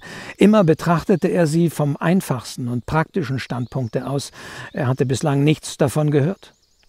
Ob er ohne Fabriken sich behelfen könne, fragte ich ihn. Er habe einen hausgesponnenen grauen Vermont-Anzug, war die Antwort, und der sei gut. Ob er Tee oder Kaffee entbehren könne und ob dies Land noch andere Getränke als Wasser liefere. Er habe die Nadeln der Hemlockstanne in Wasser eingeweicht, den Abguss getrunken und gefunden, dass er an heißen Tagen zuträglicher sei als Wasser. Als ich ihn fragte, ob er ohne Geld sich behelfen könne, wies er die praktische Bedeutung des Geldes in einer Weise nach, die sich mit durchaus philosophischen Aufsätzen über den Ursprung dieser Einrichtung deckte. und sogar die Herkunft des Wortes Pecunia erklärte. Wenn er einen Ochsen besäße und Nadel und Zwirn in einem Laden einkaufen wolle, so würde es gar bald unbequem und unmöglich werden, jedes Mal einen Teil des Tieres zu verpfänden. Er konnte manche Einrichtungen besser verteidigen als ein Philosoph. Denn wenn er beschrieb, wie sie ihm erschienen, gab er den wahren Grund ihrer Berechtigung an. Durch Nachdenken war ihm kein anderer eingefallen. Ein anderes Mal erzählte man ihm, Plato habe den Menschen als ein zweibeiniges Tier ohne Federn definiert, und infolgedessen habe irgendjemand einen Hahn gerupft und ihn als den Menschen Platos herumgezeigt. Da erwiderte er Meiner Ansicht nach liegt aber ein wichtiger Unterschied darin, dass die Knie sich nach der verkehrten Seite biegen. Manchmal rief er laut wie gern unterhalte ich mich zum Kuckuck, ich könnte mich den ganzen Tag lang unterhalten. Gelegentlich fragte ich ihn, als ich ihn während vieler Monate nicht gesehen hatte, ob ihm im Lauf des Sommers ein neuer Gedanke gekommen sei. Du lieber Gott, antwortete er, wenn ein Mensch, der arbeiten muss wie ich, seine alten Gedanken nicht vergisst, soll er zufrieden sein. Wenn der Mensch, mit dem man zusammen Unkraut hackt, mit einem um die Wette arbeiten will, ja dann, Sapperment, muss man seine Gedanken zusammenhalten, dann man muss man dem an das Unkraut denken. Bei solchen Anlässen fragte er mich bisweilen zuerst, ob ich irgendwelche Fortschritte gemacht habe. An einem Wintertage stellte ich ihm die Frage, ob er immer mit sich selbst zufrieden gewesen sei. Ich wünschte ihn darauf hinzuleiten, für den Priester dieser Welt einen Ersatz in seiner Innenwelt und einen höheren Lebenszweck zu suchen. Zufrieden, rief er aus. Der eine ist zufrieden, wenn er das tägliche Brot hat und nun den ganzen Tag dasitzen kann mit dem Rücken nach dem Feuer und mit dem Dickwanst gegen den Tisch zum Kuckuck. Es gelang mir übrigens auf keine Weise, ihn zu einer geistigen Auffassung der Außenwelt zu veranlassen. Der Höhepunkt seines Begriffsvermögens war ein oberflächliches, instinktives Gefühl, wie es auch das Tier aufweist. Das gilt in Wahrheit von den meisten Menschen.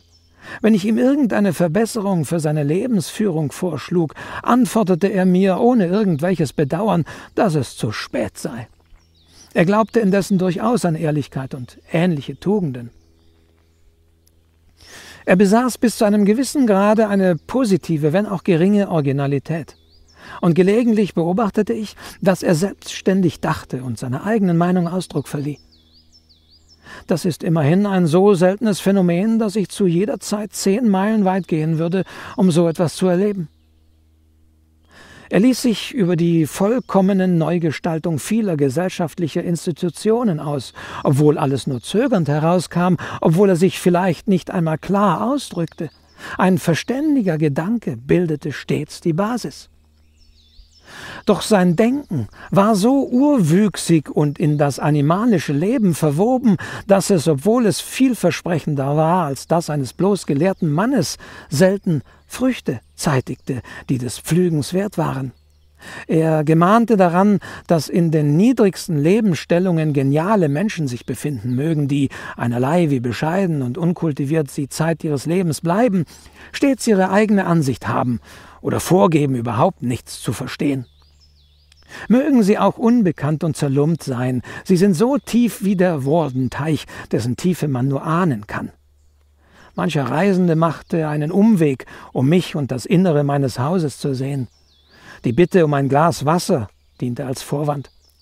Ich teilte solchen Leuten mit, dass ich selbst aus dem Teich zu trinken pflege, wies sie dorthin und bot ihnen leihweise meinen Schöpfer an. Obgleich ich im Verborgenen wohne, blieb ich von den jährlichen Besuchen nicht verschont, die, soviel ich weiß, ungefähr um den 1. April stattfinden, wo jedermann ausfliegt.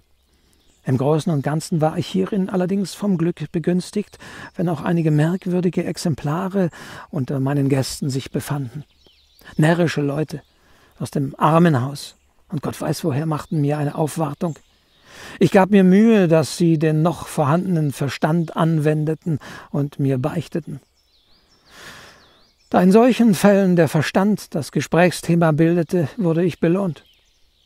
Ja, ich fand, dass einige von ihnen verständiger waren als die sogenannten armen Aufseher und Stadträte und hielt es für angezeigt, dass der Spieß gewendet würde.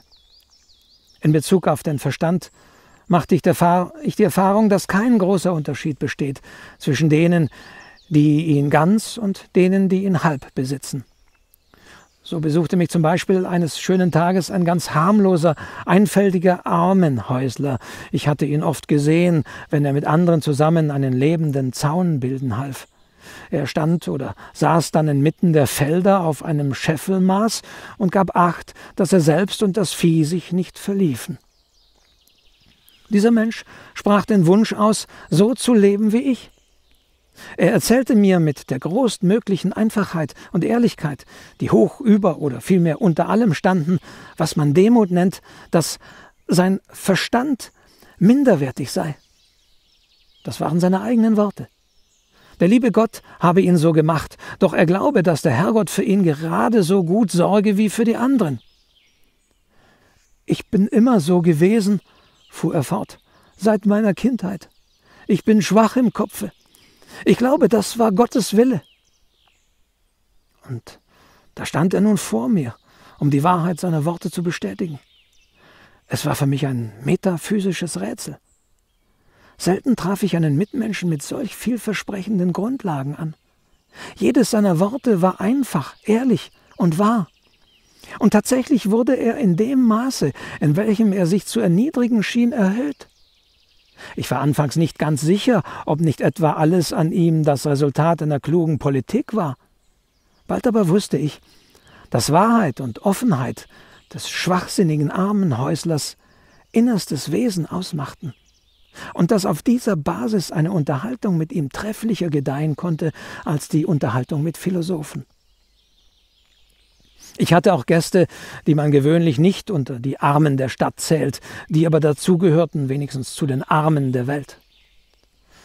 Das sind Gäste, die nicht Hospitalität, sondern Hospitalhospitalität beanspruchen, die dringende Hilfe wünschen und ihre Bitte eine Einleitung vorausschicken, in welcher verkündet wird, dass sie auf keinen Fall sich selbst helfen wollen.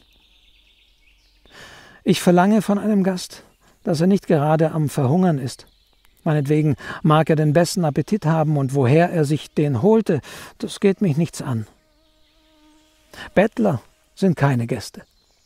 Leute kamen zu mir, die nicht wussten, wann sie ihren Besuch zu beenden hatten. Obgleich ich wieder an meine Arbeit ging und ihnen aus immer größerer Entfernung antwortete. Leute von allen Graden der Begabung suchten mich auf um die Zeit, wo die Menschen mit Vorliebe Ausflüge aufs Land machten. Leute, die mehr Verstand hatten, als sie verwerten konnten davongelaufene Sklaven mit plumpen Manieren, die von Zeit zu Zeit wie der Fuchs in der Fabel horchten, ob die klaffende Meute auf ihrer Spur sei, die flehentlich zu mir emporblickten, als ob sie sagen wollten, O Christenmensch, willst du zurück uns senden? Ja, ein Sklave, der tatsächlich entlaufen war, kam zu mir und ich half ihm weiter, gegen den Nordosten hin. Dann wieder stellte sich ein Mensch ein mit einer einzigen Idee, wie eine Henne mit einem Küchlein, das mit einem Kücklein wahrscheinlich, Entschuldigung, ein Schreibfehler, mit einem Kücklein, das obendrei ein Entlein war. Andere, sprach ich, die hatten tausend Ideen und ungekämmte Haare, wie Hennen, die auf hundert Küken acht geben müssen, welche alle einem Käfer nachlaufen. Mehr als ein Dutzend geht in jedem Morgentau verloren, und die Hüter und Pfleger werden mit der Zeit widerhaarig und schäbig. Da kamen Leute mit Ideen statt mit Beinen, eine Art geistiger Tausendfüßler, in deren Gegenwart man sich fortwährend jucken müsste. Ein Mann schlug mir sogar vor, ein Buch auszulegen, in welches alle Besucher ihren Namen einschreiben sollten, wie in den weißen Bergen. Doch du liebe Zeit, mein Gedächtnis ist zu gut, als dass so etwas nötig wäre. Einige Eigentümlichkeiten meiner Besucher konnte ich unmöglich übersehen. Mädchen, Knaben und Frauen schienen sich über den Aufenthalt in den Wäldern zu freuen. Sie sahen in den Teich und nach den Blumen und genossen die Stunden. Geschäftsleute, selbst Farmer interessierten sich zumeist für meine Einsamkeit, meine Beschäftigung und für die Entfernung, die mich von dem einen oder anderen Gegenstande trennte, und wenn sie auch sagten, dass sie recht gern von Zeit zu Zeit einen Ausflug in den Wald machten, so kam ihnen diese Äußerung, das merkte ich nur allzu gut, nicht von Herzen. Rastlose, knechtschaffende Männer, die all ihre Zeit dazu verwendeten, Geld zu verdienen oder zusammenzuhalten. Geistliche, die über den Herrgott sprachen, als ob sie ein Monopol darauf besessen. Doktoren, Rechtsanwälte, verdrießliche Hausfrauen, die ihre Nasen in Schrank und Bett steckten, sobald ich nicht zu Hause war. Vorher konnte ich sonst Frau P. Woher konnte sonst Frau P. wissen, dass meine Betttücher nicht so rein waren wie ihre eigenen? Junge Leute, die nicht mehr jung waren und glaubten, es sei das sicherste, auf dem ausgetretenen Pfade der Berufsarten zu wandeln. All diese Menschen gaben mir meistenteils zu verstehen, dass es unmöglich sei, in meiner Lage viel Gutes zu tun. Ja, da liegt's. Ihnen schien das Leben voll Gefahren, doch wo ist Gefahr, wenn man nicht an sie denkt? Und darum hielten sie es für angezeigt, als verständige Menschen sorgfältig die sicherste Lage auszuwählen, dort wo Dr. B im Notfall sofort zur Stelle war. Ihnen war die Stadt wirklich eine Communitas, eine Vereinigung zum Schutz und Trutz. Dass solche Leute nicht ohne Taschenapotheke zum Preiselbeerpflücken ausgingen, ist selbstverständlich. Kurzum, wenn ein Mensch lebendig ist, schwebt er immer in Todesgefahr. Obgleich man zugeben muss, dass die Gefahr umso geringer ist, je mehr er von vornherein scheintot ist. Der Mensch sitzt so viele Gefahren, als er läuft. Schließlich besuchten mich auch Leute, die sich selbst den Titel Reformator beilegten. Das waren die widerlichsten von allen. Sie dachten, ich sänge ohne Unterlass. Dies ist das Haus, das ich baute. Dies ist das, der Mann, der da wohnt in dem Haus, das ich baute. Sie wussten jedoch nicht, dass die dritte Zeile lautete, dies sind die Leute, die plagen den Mann, der da wohnt in dem Haus, das ich baute. Ich hatte keine Angst vor Tierschindern, denn ich hatte keine Tiere. Doch vor Menschenschindern hatte ich Angst. Meistens machten mir jedoch meine Besucher Freude. Kinder, die kamen, um Beeren zu pflücken, Eisenbahnbeamte, die in sauberer Kleidung ihren Sonntagmorgenspaziergang machten, Fischer und Jäger, Dichter und Philosophen, kurz alle ehrbaren Pilger, die tatsächlich die Stadt hinter sich ließen und um der Freiheit willen in die Wälder wanderten. Für alle hatte ich den Gruß bereit. Willkommen, Engländer. Willkommen, Engländer. Denn mit dieser Nation hatte ich schon in Verkehr gestanden.